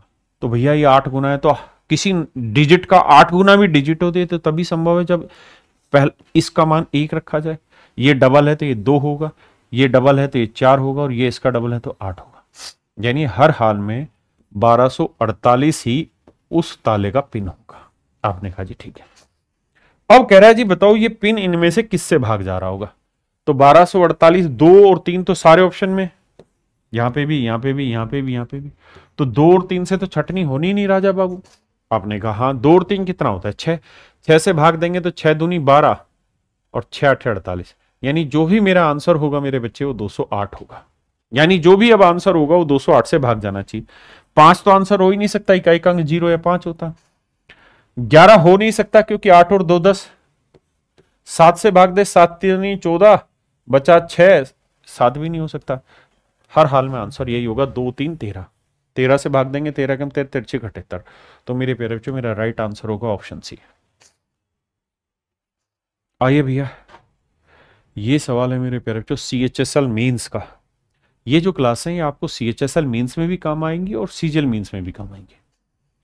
कह रहा है there are fifty boxes and fifty percent person one keeps one marble in every box person two keeps two marble in every second box person three keeps three marble in every third box सवाल में ऐसे कह रहा है कि भाई, पहला जो आदमी है ना, वो हर डब्बे में एक एक कंचे डालेगा। हर डब्बे में एक एक कंचे डालेगा। जो दूसरा आदमी है वो हर दो दो डब्बे में कंचे डालेगा, हर दूसरे डब्बे में। तीसरा आदमी हर तीसरे डब्बे में कंचे डालेगा। चौथा आदमी हर चौथे डब्बे में कंचे डालेगा। ऐसे कहानियाँ चल रही हैं। और चौथा आदमी हर डब्बे में चार, हर चौथे डब्बे में चार कंचे डालेगा, पांचवा आदमी हर पाँचवें डब्बे में पाँच कंचे डालेगा। तो सवाल में कह रहा है कि भाई, पचासवा आदमी जो है, वो हर पचासवें डब्बे में पचास कंचे डालेगा। कंचे माने, समझ गए तुम मार्बल अब कह रहा है कि भाई, ये बताओ, पचासवें बक्से में सबसे ज़्यादा मार्बल मतलब पचासवा जो बक्सा होगा, उसमें मार्बलों की कुल संख्या कितनी होगी? तो मेरे बच्चे, एक बात हो, पचासवें बक्से में किस किस ने कंचे डाले होंगे? तो भैया, वो पहला आदमी, उसने एक डाला होगा, दूसरे आदमी ने भी दो डाले होंगे। भाई, पचासवें डब्बे में वही तो लोग डालेंगे जो पचास से भाग चले जाएँगे। तो एक जाएगा, दो जाएगा, उसके बाद मेरे बच्चे पाँच जाएगा, फिर दस जाएगा, फिर पच्चीस जाएगा, और फिर पचास। यानी यही लोग तो हैं जिनकी बारी पचासवें में आएगी। जैसे मान लो तीसरा तीसरा आदमी है, वो तो हर तीसरे डब्बे में डालेगा तो उसकी बारी कभी भी पचासवें में डालने में आएगी नहीं। तो कह रहा जी, इनका जोड़ करके बता दो, भाई पचासवां आदमी पचास डालेगा, ये पच्चीस डालेगा दस, पाँच, दो, एक तो जोड़ेंगे तो मेरे बच्चे आएगा तिरानवे। इसका मतलब तिरानवे कंचे डाले गए होंगे तिरानवे डब्बे में। वैसे भी हम समझ सकते थे कि तैंतालीस और छह तो आंसर हो नहीं सकता। क्योंकि पचासवें डब्बे में, पचासवें आदमी ने तो पचास डाले ही तो उत्तर पचास से ज़्यादा होगा। देखिए मेरे बच्चे, सवाल है एसएससी सीजीएल मेंस का। बहुत बढ़िया सवाल है। सवाल ने हमको कहा कि भाई A plus B plus C plus D का जोड़ है तीस। यानी चार संख्याओं का योग रखा है तीस। मुझसे पूछ रहा है मेरे बच्चे, इस एक्सप्रेशन की मिनिमम वैल्यू बताइए, क्या होगी? मेरे दोस्त, अगर इसकी मिनिमम वैल्यू चाहिए तो मुझे ए का बी से डिफरेंस भी मिनिमम चाहिए।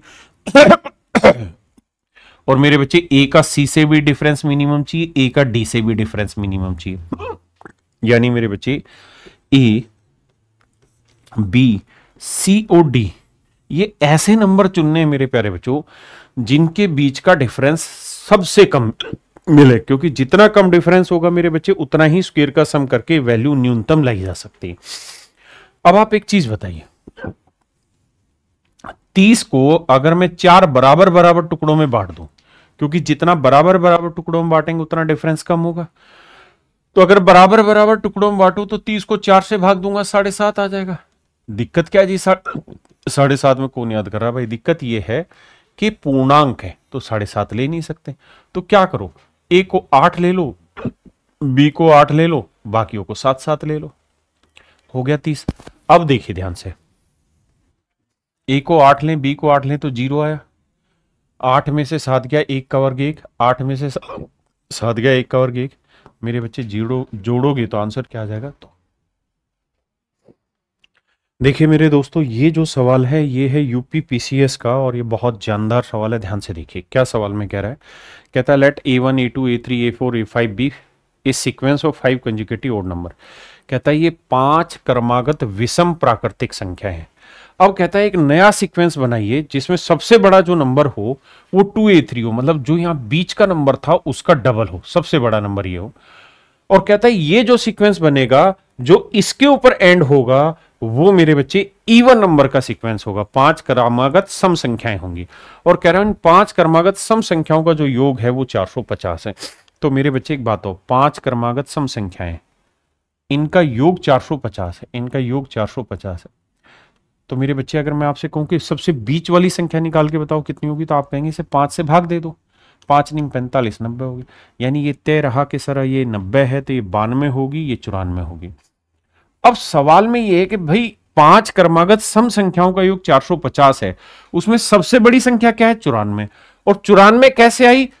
जो सबसे बड़ी संख्या थी वो टू ए क्यूब, उसने लिखा ना, टू ए क्यूब पर समाप्त होने वाली पाँच क्रमागत सम संख्याएँ। तो टू ए क्यूब मतलब टू ए क्यूब नहीं, टू ए थ्री है यहाँ पे। तो मेरे बच्चे, ये इस बीच वाली टर्म का डबल है।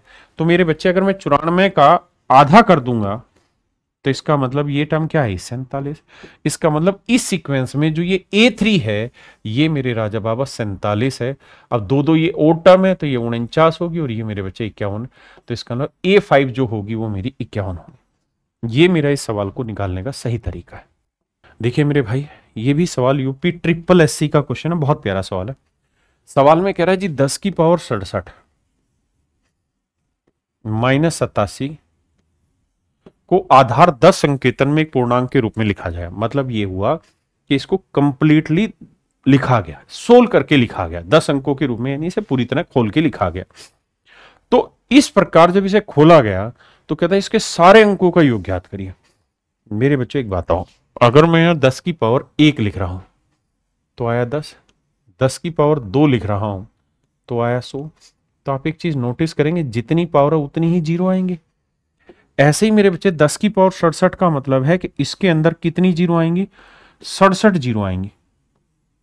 कितनी ज़ीरो आएँगी जी? सड़सठ ज़ीरो आएँगी मेरे बच्चे, आपने कहा, ठीक है? और माइनस सतासी करेंगे। तो ये तेरह के आखिरी अंक तीन आएगा और ये एक आएगा। बिल्कुल ठीक है। तो मेरे प्यारे बच्चों, ये बताओ, ये टोटल अंक जैसे दस की पावर एक करा तो अंक दो बने, दस की पावर दो किया तो अंक तीन बने। तो मेरे बच्चे जब घटाएँगे तो इससे आगे सारे के सारे क्या बचते चले जाएँगे? No no no no no no, ऐसे ही तो बचते जाएँगे। देखो, ऐसे समझो, अगर मैं हज़ार में से आपको समझाने के लिए मैं कहूँ कि भाई, या दस हज़ार में से सात घटा दो तो आप दस में से सात या तीन लिखोगे। यहाँ कितना बचा? नौ बचा। यहाँ कितना बचा? नौ बचा। यहाँ कितना बचा? नौ बचा। तो यहाँ कितनी ज़ीरो थी? एक, दो, तीन, चार। तो अंक भी कितना है? एक, दो, तीन, चार। तो ये वाला अंक तो आप घटा के लिख लेंगे। बाकी आप कहेंगे चार ज़ीरो थी, चार में से ये वाला अंक निकल गया तो बचे कितने? तीन। तो नौ आएगा तीन बार। ऐसे ही मेरे बच्चे यहाँ दस की पावर थी सड़सठ। इसका मतलब सड़सठ ज़ीरो है। सड़सठ ज़ीरो में से दो ज़ीरो घटाने के बाद तो आया तेरह। तो सड़सठ में से दो घटाया कितना बचा मेरे बच्चे? पैंसठ। इसका मतलब जो भी मेरा उत्तर आएगा, उसमें नौ कितनी बार आएगा? पैंसठ बार आएगा। तो कह रहा है, इसके सारे अंकों का योग याद करो। तो भाई, नौ तो आ रहा है पैंसठ बार। और एक और तीन का जोड़, चार। अब इन्हें जोड़ना है। तो नौ पाँच पैंतालीस, पाँच चार नौ। अच्छा दो ऑप्शन है। तो नौ पाँच पैंतालीस, नौ छिक चौवन और चार अट्ठावन। नहीं, नौ पाँच पैंतालीस का पाँच, असल चार, नौ छिक चौवन चार अट्ठावन और जमा चार। तो मेरे बच्चे, पाँच आठ नौ मेरा राइट आंसर पाँच आठ नौ मेरा राइट आंसर इसका मतलब मेरे प्यारे बच्चे, इसके सभी अंकों का योग है पाँच सौ नवासी। सभी अंकों का योग है मेरे बच्चे पाँच सौ नवासी। देखिए यार सीडीएस का क्वेश्चन है। सवाल में कह रहा है, चार भिन्न भिन्न अभाज्य संख्या है। पहली चीज़ आपको ये समझनी कि सारी के सारे प्राइम नंबर है, अभाज्य संख्या है। और ए बी सी डी का औसत है पैंतीस। ए बी सी डी का औसत है पैंतीस।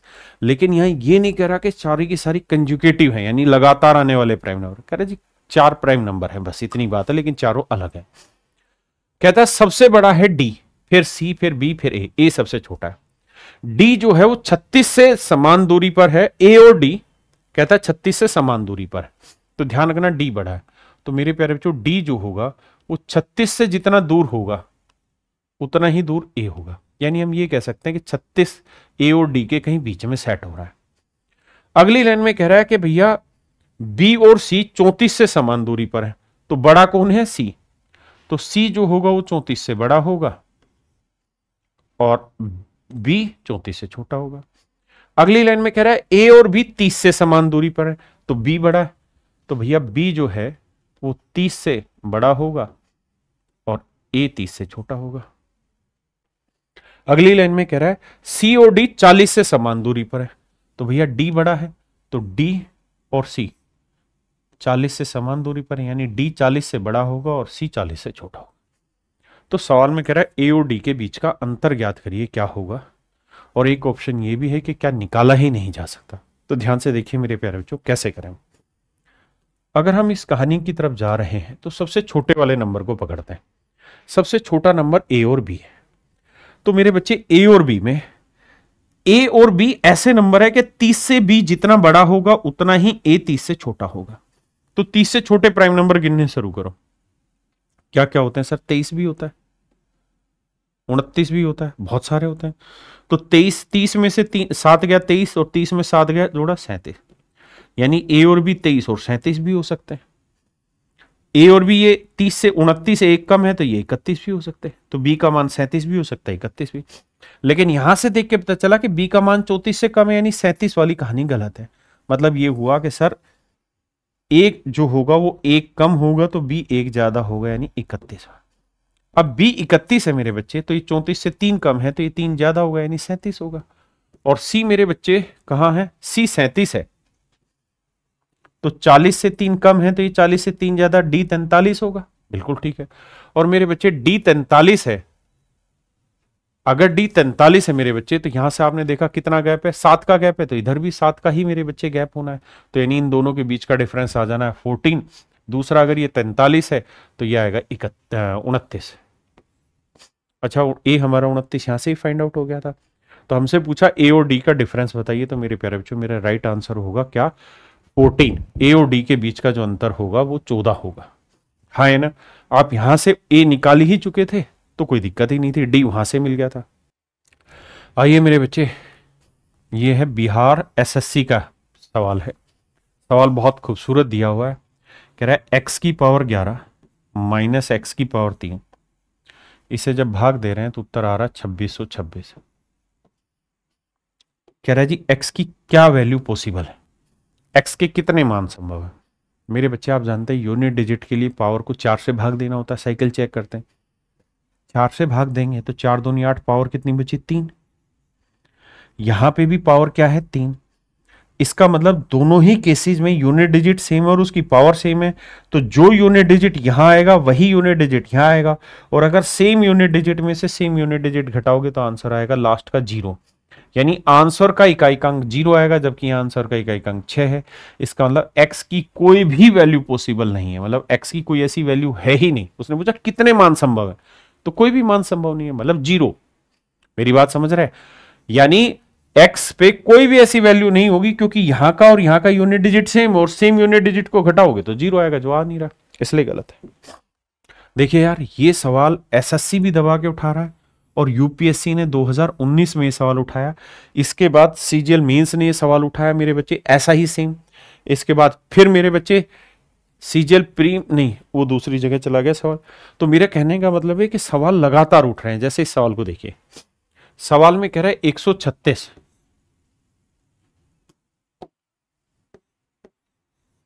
एक सौ छत्तीस, पाँच बी सात में जोड़ा जाता है। तो रिज़ल्ट जो आ रहा है, वो सात ए तीन आ रहा है। बिल्कुल ठीक है। कह रहा है, ए और बी दोनों पूर्णांक और ये दिया गया कि सात ए तीन ए से पूर्णतः विभाजित होता है। सेवन ए थ्री जो है मेरे बच्चे, ये तीन से पूर्णतः भाग हो रहा है। ए क्या है डिजिट तो ज़ीरो से लेकर नौ तक कुछ भी हो सकता है। अब मुझे पता है कि इनके अंकों का जोड़, यानी तीन से भाग होना है तो तीन तो कट ही गया। तो साथ में क्या जोड़े के तीन से भाग हो जाए? तो ए की वैल्यू सर दो ले सकते हो, पाँच ले सकते हो, पाँच के बाद आठ ले सकते हो। बस आठ के बाद तो कुछ है ही नहीं, क्योंकि सात दो नौ, पाँच सात बारह, आठ सात पंद्रह सारे तीन से भाग जाएँगे। तो ए की वैल्यू मेरे बच्चे दो, पाँच, आठ ली जा सकती है। तो सवाल में कह रहा है बी का एकमात्र संभावित मान क्या है? आते हैं जी, आइए। देखो यार, सात और छह, तेरह का तीन, हासिल एक एक और तीन, चार। एक और तीन, चार। अब चार में मैं क्या जोड़ू कि ए का मान मेरा क्या आ जाए मेरे बच्चे? अच्छा एक बात और भी देखने की क्या? कि पाँच और एक छह है।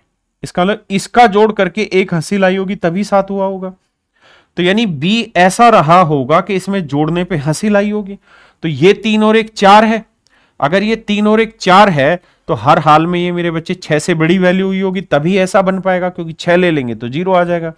तो ए का मान दो रख सकते हो, पाँच रख सकते हो, आठ रख सकते हो। अगर मैं चाहता हूँ कि ए का मान दो आए तो भैया तीन और एक चार है तो यहाँ बी का मान क्या लेना होगा? आठ तो आठ और चार बारह का हासिल मतलब दो, हासिल एक, सात आ जाएगा।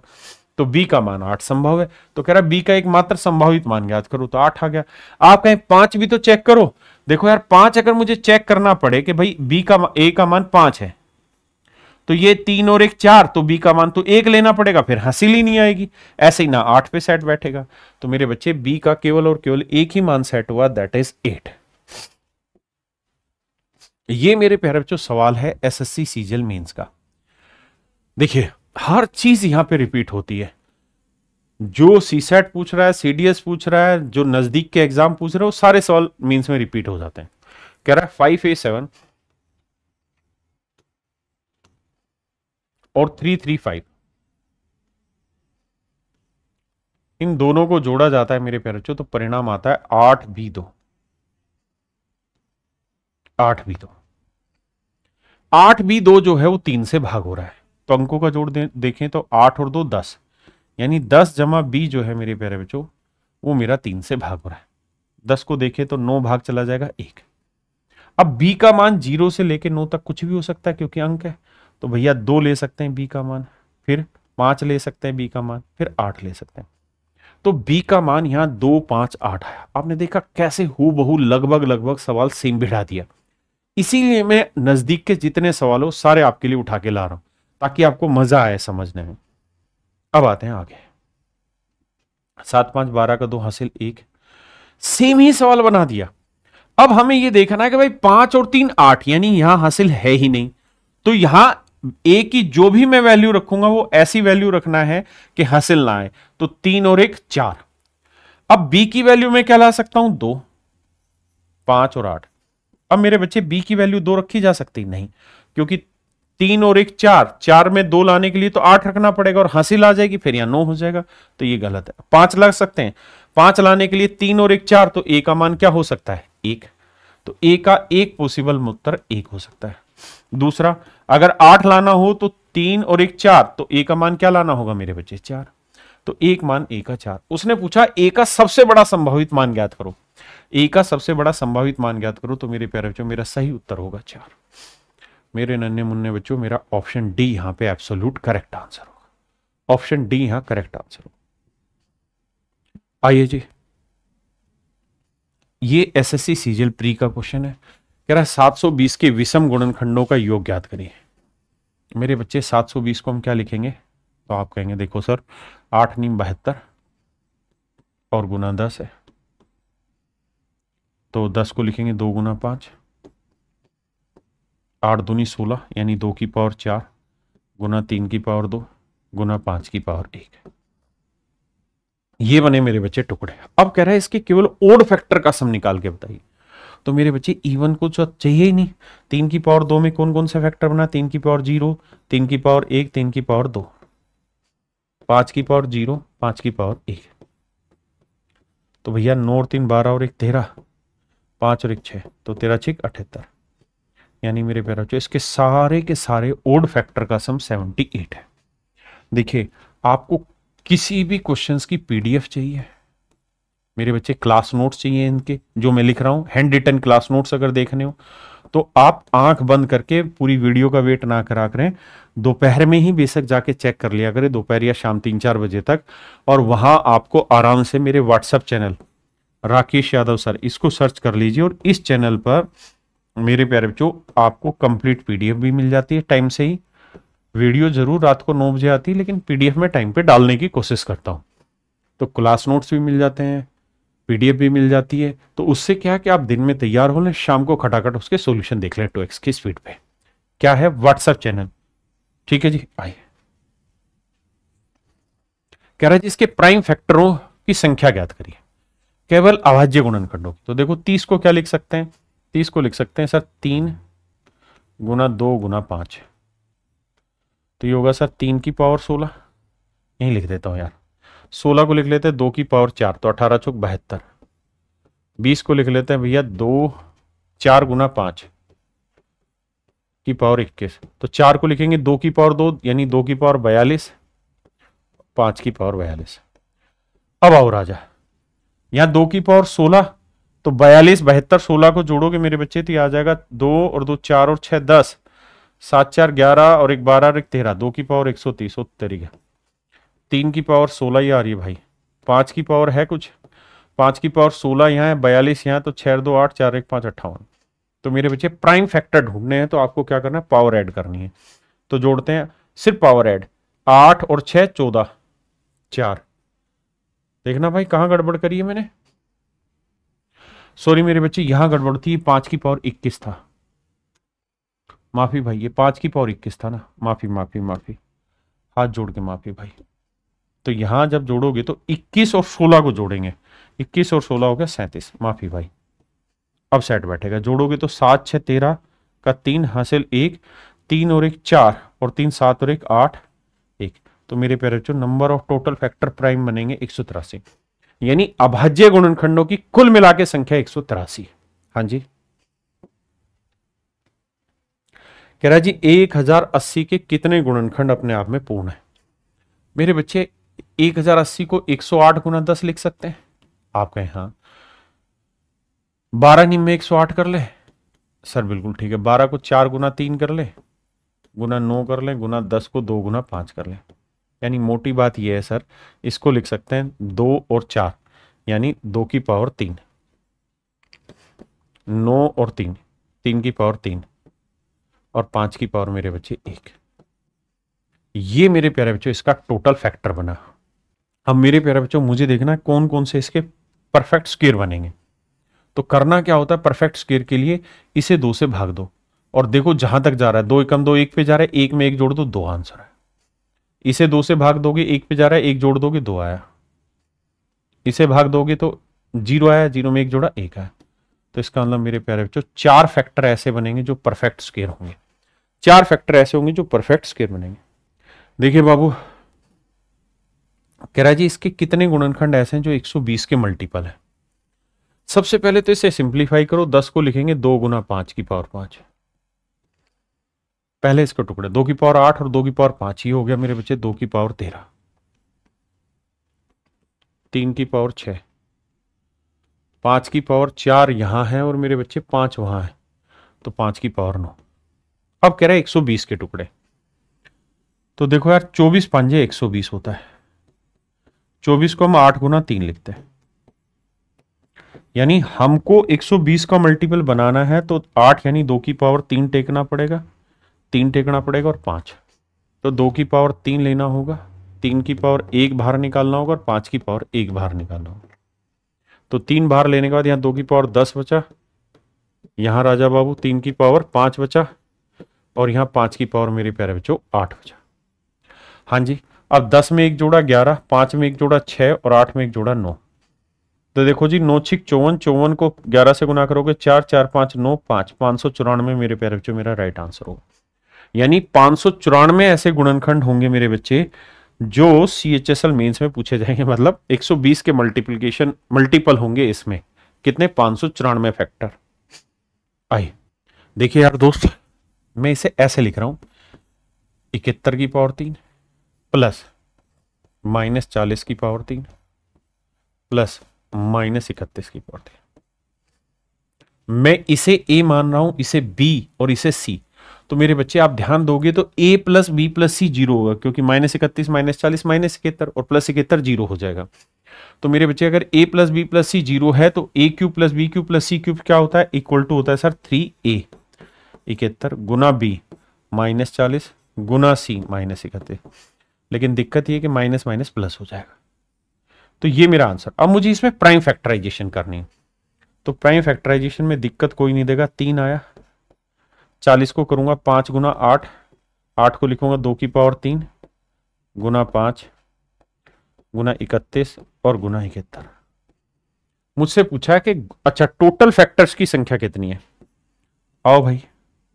तो आप देखेंगे, एक में एक जोड़ा दो, तीन में एक जोड़ा चार, एक में एक जोड़ा दो, एक में एक जोड़ा दो, एक में एक जोड़ा दो। दो दूनी चार चार दूनी आठ आठ चौक बत्ती बत्ती दूनी चौसठ। तो मेरे नन्हे मुन्ने प्यारे बच्चों यहाँ पे मेरे टोटल नंबर ऑफ़ फैक्टर जो निकल के आएँगे वो चौसठ आएँगे मेरे प्यारे बच्चों, यहाँ S S C CGL mains का सवाल है। टोटल नंबर ऑफ़ फैक्टर इसके जो निकल के आएँगे वो चौसठ आएँगे। ऐसे सवाल में आपको सिंप्लीफिकेशन में भी हो सकता है कराऊं, क्योंकि वहाँ क्यू वाले फार्मूले पे सवाल रहते हैं। आइए, ये बिहार एसएससी का सवाल पेपर का सवाल है। कह रहे एक संख्या एन को जब भाजक डी से भाग दिया जाता है तो शेषफल अट्ठाईस आता है। जब चार एन कर दे मतलब संख्या का चार गुना तो अट्ठाईस का चार गुना करेंगे तो मेरे बच्चे आएगा एक सौ बारह। कहता है, इसको डी से भाग दिया जाता है तो शेषफल दो आता है तो 112 में से दो घटाएँगे, बचा 110 यानी मेरे बच्चे डी जो होगा, वो ऐसा नंबर होगा जो 110 का फैक्टर होगा। तैतीस 110 का फैक्टर नहीं है छियासठ 110 का फैक्टर नहीं है, चवालीस 110 का फैक्टर नहीं, केवल पचपन है। पचपन ही एक ऐसा नंबर है जो मेरे बच्चे 110 को भाग दे रहा है, और कोई नंबर है ही नहीं। यही सवाल ने पूछा था कि भाई वो डी क्या होगा? डी का मान ज्ञात करें। देखिए यार, सवाल में कह रहा है कि एक्स की पावर एम और एक्स की पावर एन इन दोनों को आपस में गुणा कर दिया जाए। तो जो परिणाम आना चाहिए वो एक है। तो m और n में क्या विशेषता? कुछ नहीं भाई। अगर यहाँ m का मान पाँच हो तो n का मान माइनस पाँच हो। फिर क्या फ़ायदा होगा? ये वन अपोन में हो जाएगा और कट के आंसर एक आ जाएगा। तो मतलब m और n में इक्वल होना चाहिए बस। मैग्नीट्यूड चेंज हो गया माइनस है या प्लस हो। तो मेरे बच्चे ऑप्शन बी मेरा करेक्ट आंसर है। और ये सवाल S S C CGL mains का सवाल है। मैंने मीन्स के सारे सवाल पिक किए चाहे वो 2015 में आया हुआ हो 2017 में 2018 में। ये 2018 मीन्स का क्वेश्चन है। तो मैं सारे सवाल ले रहा हूँ, ताकि हमारे बच्चों को एक एग्जैक्ट अंदाज आ जाए। कहता है, एक प्रिंटर के, एक प्रिंटर एक किताब के पन्नों पर एक से शुरू करके तीन हज़ार नवासी अंक अंकित करता है। किताब में पन्ने कितने ये है मेरे प्यारे बच्चों यूपीएससी सी सेट दो हज़ार उन्नीस का सवाल। और कल की जो वीडियो होगी, वो मेरे बच्चे पूरे तीन, साढ़े तीन घंटे की वीडियो होगी और कंप्लीट नंबर सिस्टम निपटा दिया जाएगा कल। आइए, देखिए जी। मुझे ये पता है कि एक से लेके नौ सौ निन्यानवे तक की अगर मैं गिनती लिखूं तो नौ सौ निन्यानवे नंबर होते हैं और कुल मिला के जो डिजिट होते हैं वो टू डबल एट नाइन होते हैं। आपने कहा जी बिल्कुल ठीक है। हमारे पास डिजिट क्या है जी? Three zero double eight nine, ना, थ्री ज़ीरो एट नाइन, माफ़ करिए। अब नौ सौ निन्यानवे के बाद हर नंबर में चार डिजिट होते हैं। तो भैया भाग देंगे मतलब घटाएँगे। ज़ीरो ज़ीरो दस में आठ गया तो दो सौ। हर डिजिट चार डिजिट से एक नंबर बनना है मेरे बच्चे। तो दो सौ डिजिट से पचास नंबर तो पचास नंबर और बन जाएँगे। तो पचास नंबर बन जाएँगे तो जोड़ेंगे तो नौ नौ पाँच चौदह, नौ एक दस, एक हज़ार इसका मतलब पेजों की संख्या जो उस किताब में होगी वो एक हज़ार उनचास होगी। ये मेरे प्यारे बच्चों यूपीएससी सी सेट दो हज़ार उन्नीस का क्वेश्चन है। मैं पूरे इस कॉन्सेप्ट को समझाने में डेढ़ घंटा लेता हूँ इससे रिलेटेड जितने भी क्वेश्चन आते हैं, सारे एक साथ लपेट देता हूँ समझाते हुए कॉन्सेप्ट तो मेरे प्यारे बच्चों, आप सबको अगर पढ़ने में मज़ा आ रहा है, आपको लग रहा है कि आपका पैसा वसूल हो रहा है, आपका समय वसूल हो रहा है, क्योंकि ये पेड बैच नहीं है यूट्यूब पे फ्री बैच रखा हुआ है। तो आपने एक ही काम करना है कि जब आपका सिलेक्शन हो जाए तो किसी भी गरीब बच्चे की मेरे बैच की फ़ीस आप पे कर देना नौ सौ निन्यानवे रुपए और उसको कहना कि पढ़ और आराम से सिलेक्शन ले। है ना? और मेरे प्यारे बच्चों, अगर आपको चीज़ अच्छी लग रही तो अपने यार दोस्तों को, नए बच्चों को अप्रिशिएट कर सकते हैं, बता सकते हैं हमारे बैचेस के बारे में। मेरा फाउंडेशन प्लस सिलेक्शन बैच रहता है। देखिए दोस्तों कैरियरविल ऐप पर for what value of N कहता है एन के किस मान के लिए the sum of digit of the number this is two कहता है, दस की पावर एन प्लस वन इसको जब सोल्व करोगे तो इसके अंकों का योग हमेशा दो आएगा। हमेशा ही रहेगा भाई एन की वैल्यू आप कुछ भी रख लें। बस ज़ीरो ना रख लें, क्योंकि ज़ीरो रख लेंगे तो ज़ीरो रखेंगे तब भी सेट है मामला। भाई किसी पे भी आ जाएगा, क्योंकि अगर मैं एक रखूँगा तो दस और एक ग्यारह, दो रखूँगा तो सौ और एक एक सौ एक, तब भी अंकों का जोड़ी आएगा। तो फॉर एनी होल नंबर कोई भी होल नंबर रख लेंगे, सभी पे मामला सेट होगा। है ना? ये बिल्कुल सेट है। आइए मेरे बच्चे, ये मेरे प्यारे बच्चों, सवाल है सीजीएल मीन्स 2022 का। बहुत प्यारा सवाल है, ध्यान से देखिए। आइए मेरे बच्चे, देखो यार 400 से 700 तक ऐसी कितनी संख्या है जिनमें अंक छह ठीक दो बार आता है? दो बार आता है 400 से 700 के तक।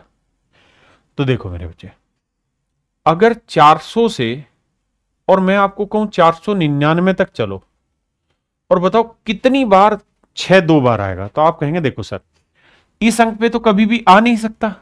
नहीं तो दो बार कहाँ आ सकता है? इन दोनों अंकों पे तो चार सौ छियासठ हो ऐसे ही मेरे बच्चे 500 से 599 तक इस अंक पे तो छह आ नहीं सकता तो इन दोनों अंक पे छह लाना है तो पाँच सौ छियासठ। तो एक केस मेरे बच्चे यहाँ संभव होगा और एक केस मेरे बच्चे यहाँ संभव होगा। दो केस संभव। लेकिन हमसे उसने पूछा 400 से 700 तक। हमने बता दिया पाँच सौ निन्यानवे तक। अब आते हैं मेरे बच्चे 600 से। छह सौ निन्यानवे तक। क्योंकि 700 में तो छह आएगा नहीं।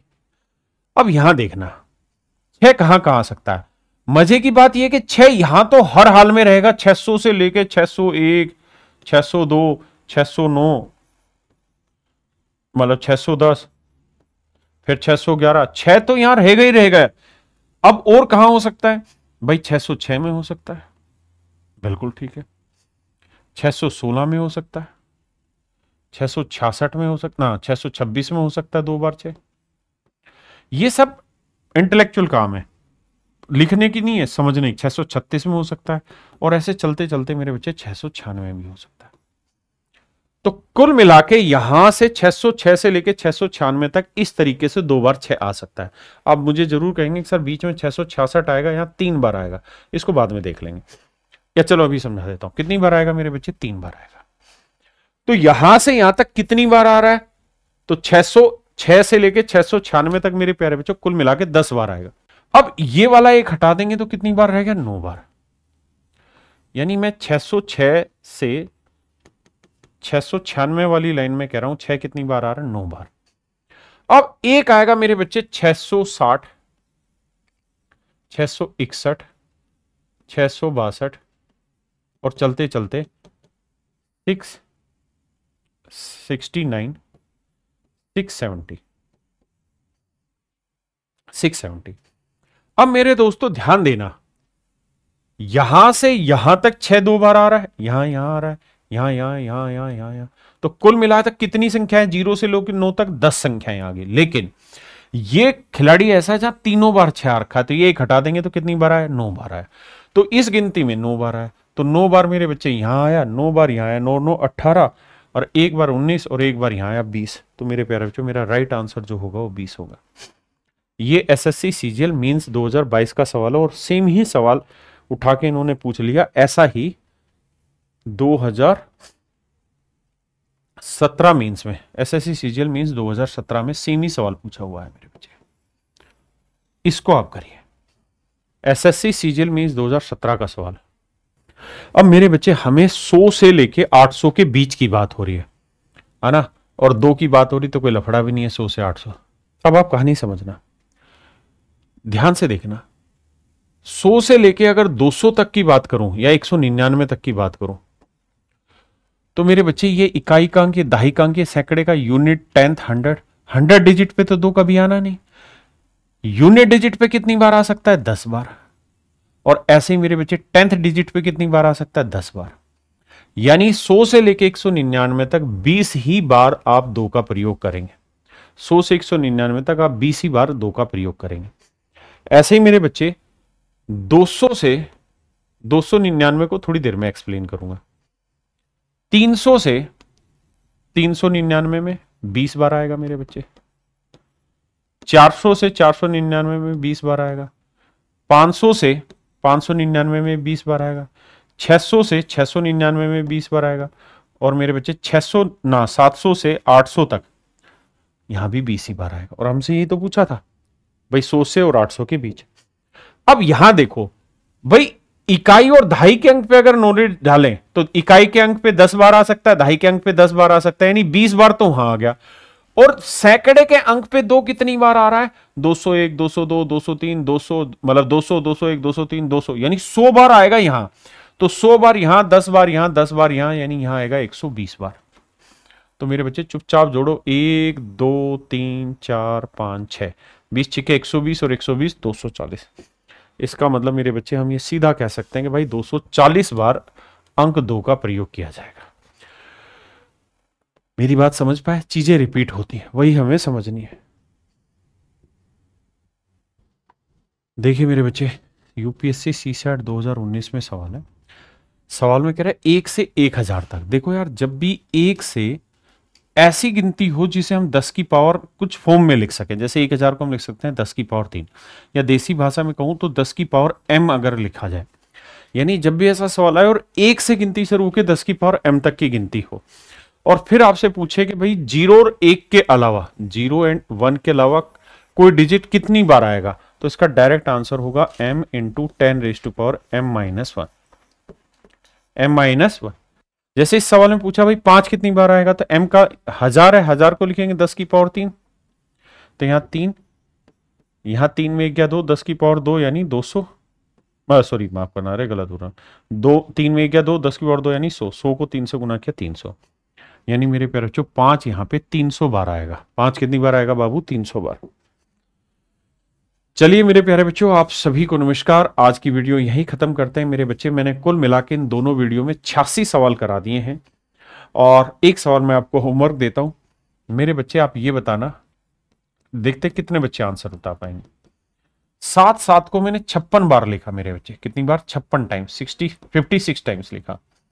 और मेरे प्यारे बच्चों, मैं कह रहा हूँ यार, इसे उन्नीस से भाग दें तो रिमाइंडर बताइए क्या होगा। ये सारा सवाल आपने करके ऑप्शन में कमेंट करना है, अगर आप ठीक कर पाए तो मेरे प्यारे बच्चों, आपके लिए एक बहुत बड़ा अनाउंसमेंट लेके आऊँगा मैं। तो मेरे दोस्तों, कल की जो वीडियो होगी, उस वीडियो में मैं बावन सवाल आपके लिए लेकर आ रहा हूँ। कितने क्वेश्चन 52 क्वेश्चंस और कल मेरे प्यारे बच्चों, आपका पूरा नंबर सिस्टम खत्म हो जाएगा। उसके बाद हम बात करेंगे सिंप्लीफिकेशन पे। तो चलिए मेरे प्यारे बच्चों, आज के लिए इतना ही। आप सभी का बहुत बहुत धन्यवाद। आप सभी से रिक्वेस्ट है, वीडियो को लाइक और शेयर ज़रूर कर दीजिए। और कमेंट भी करिए। Thank you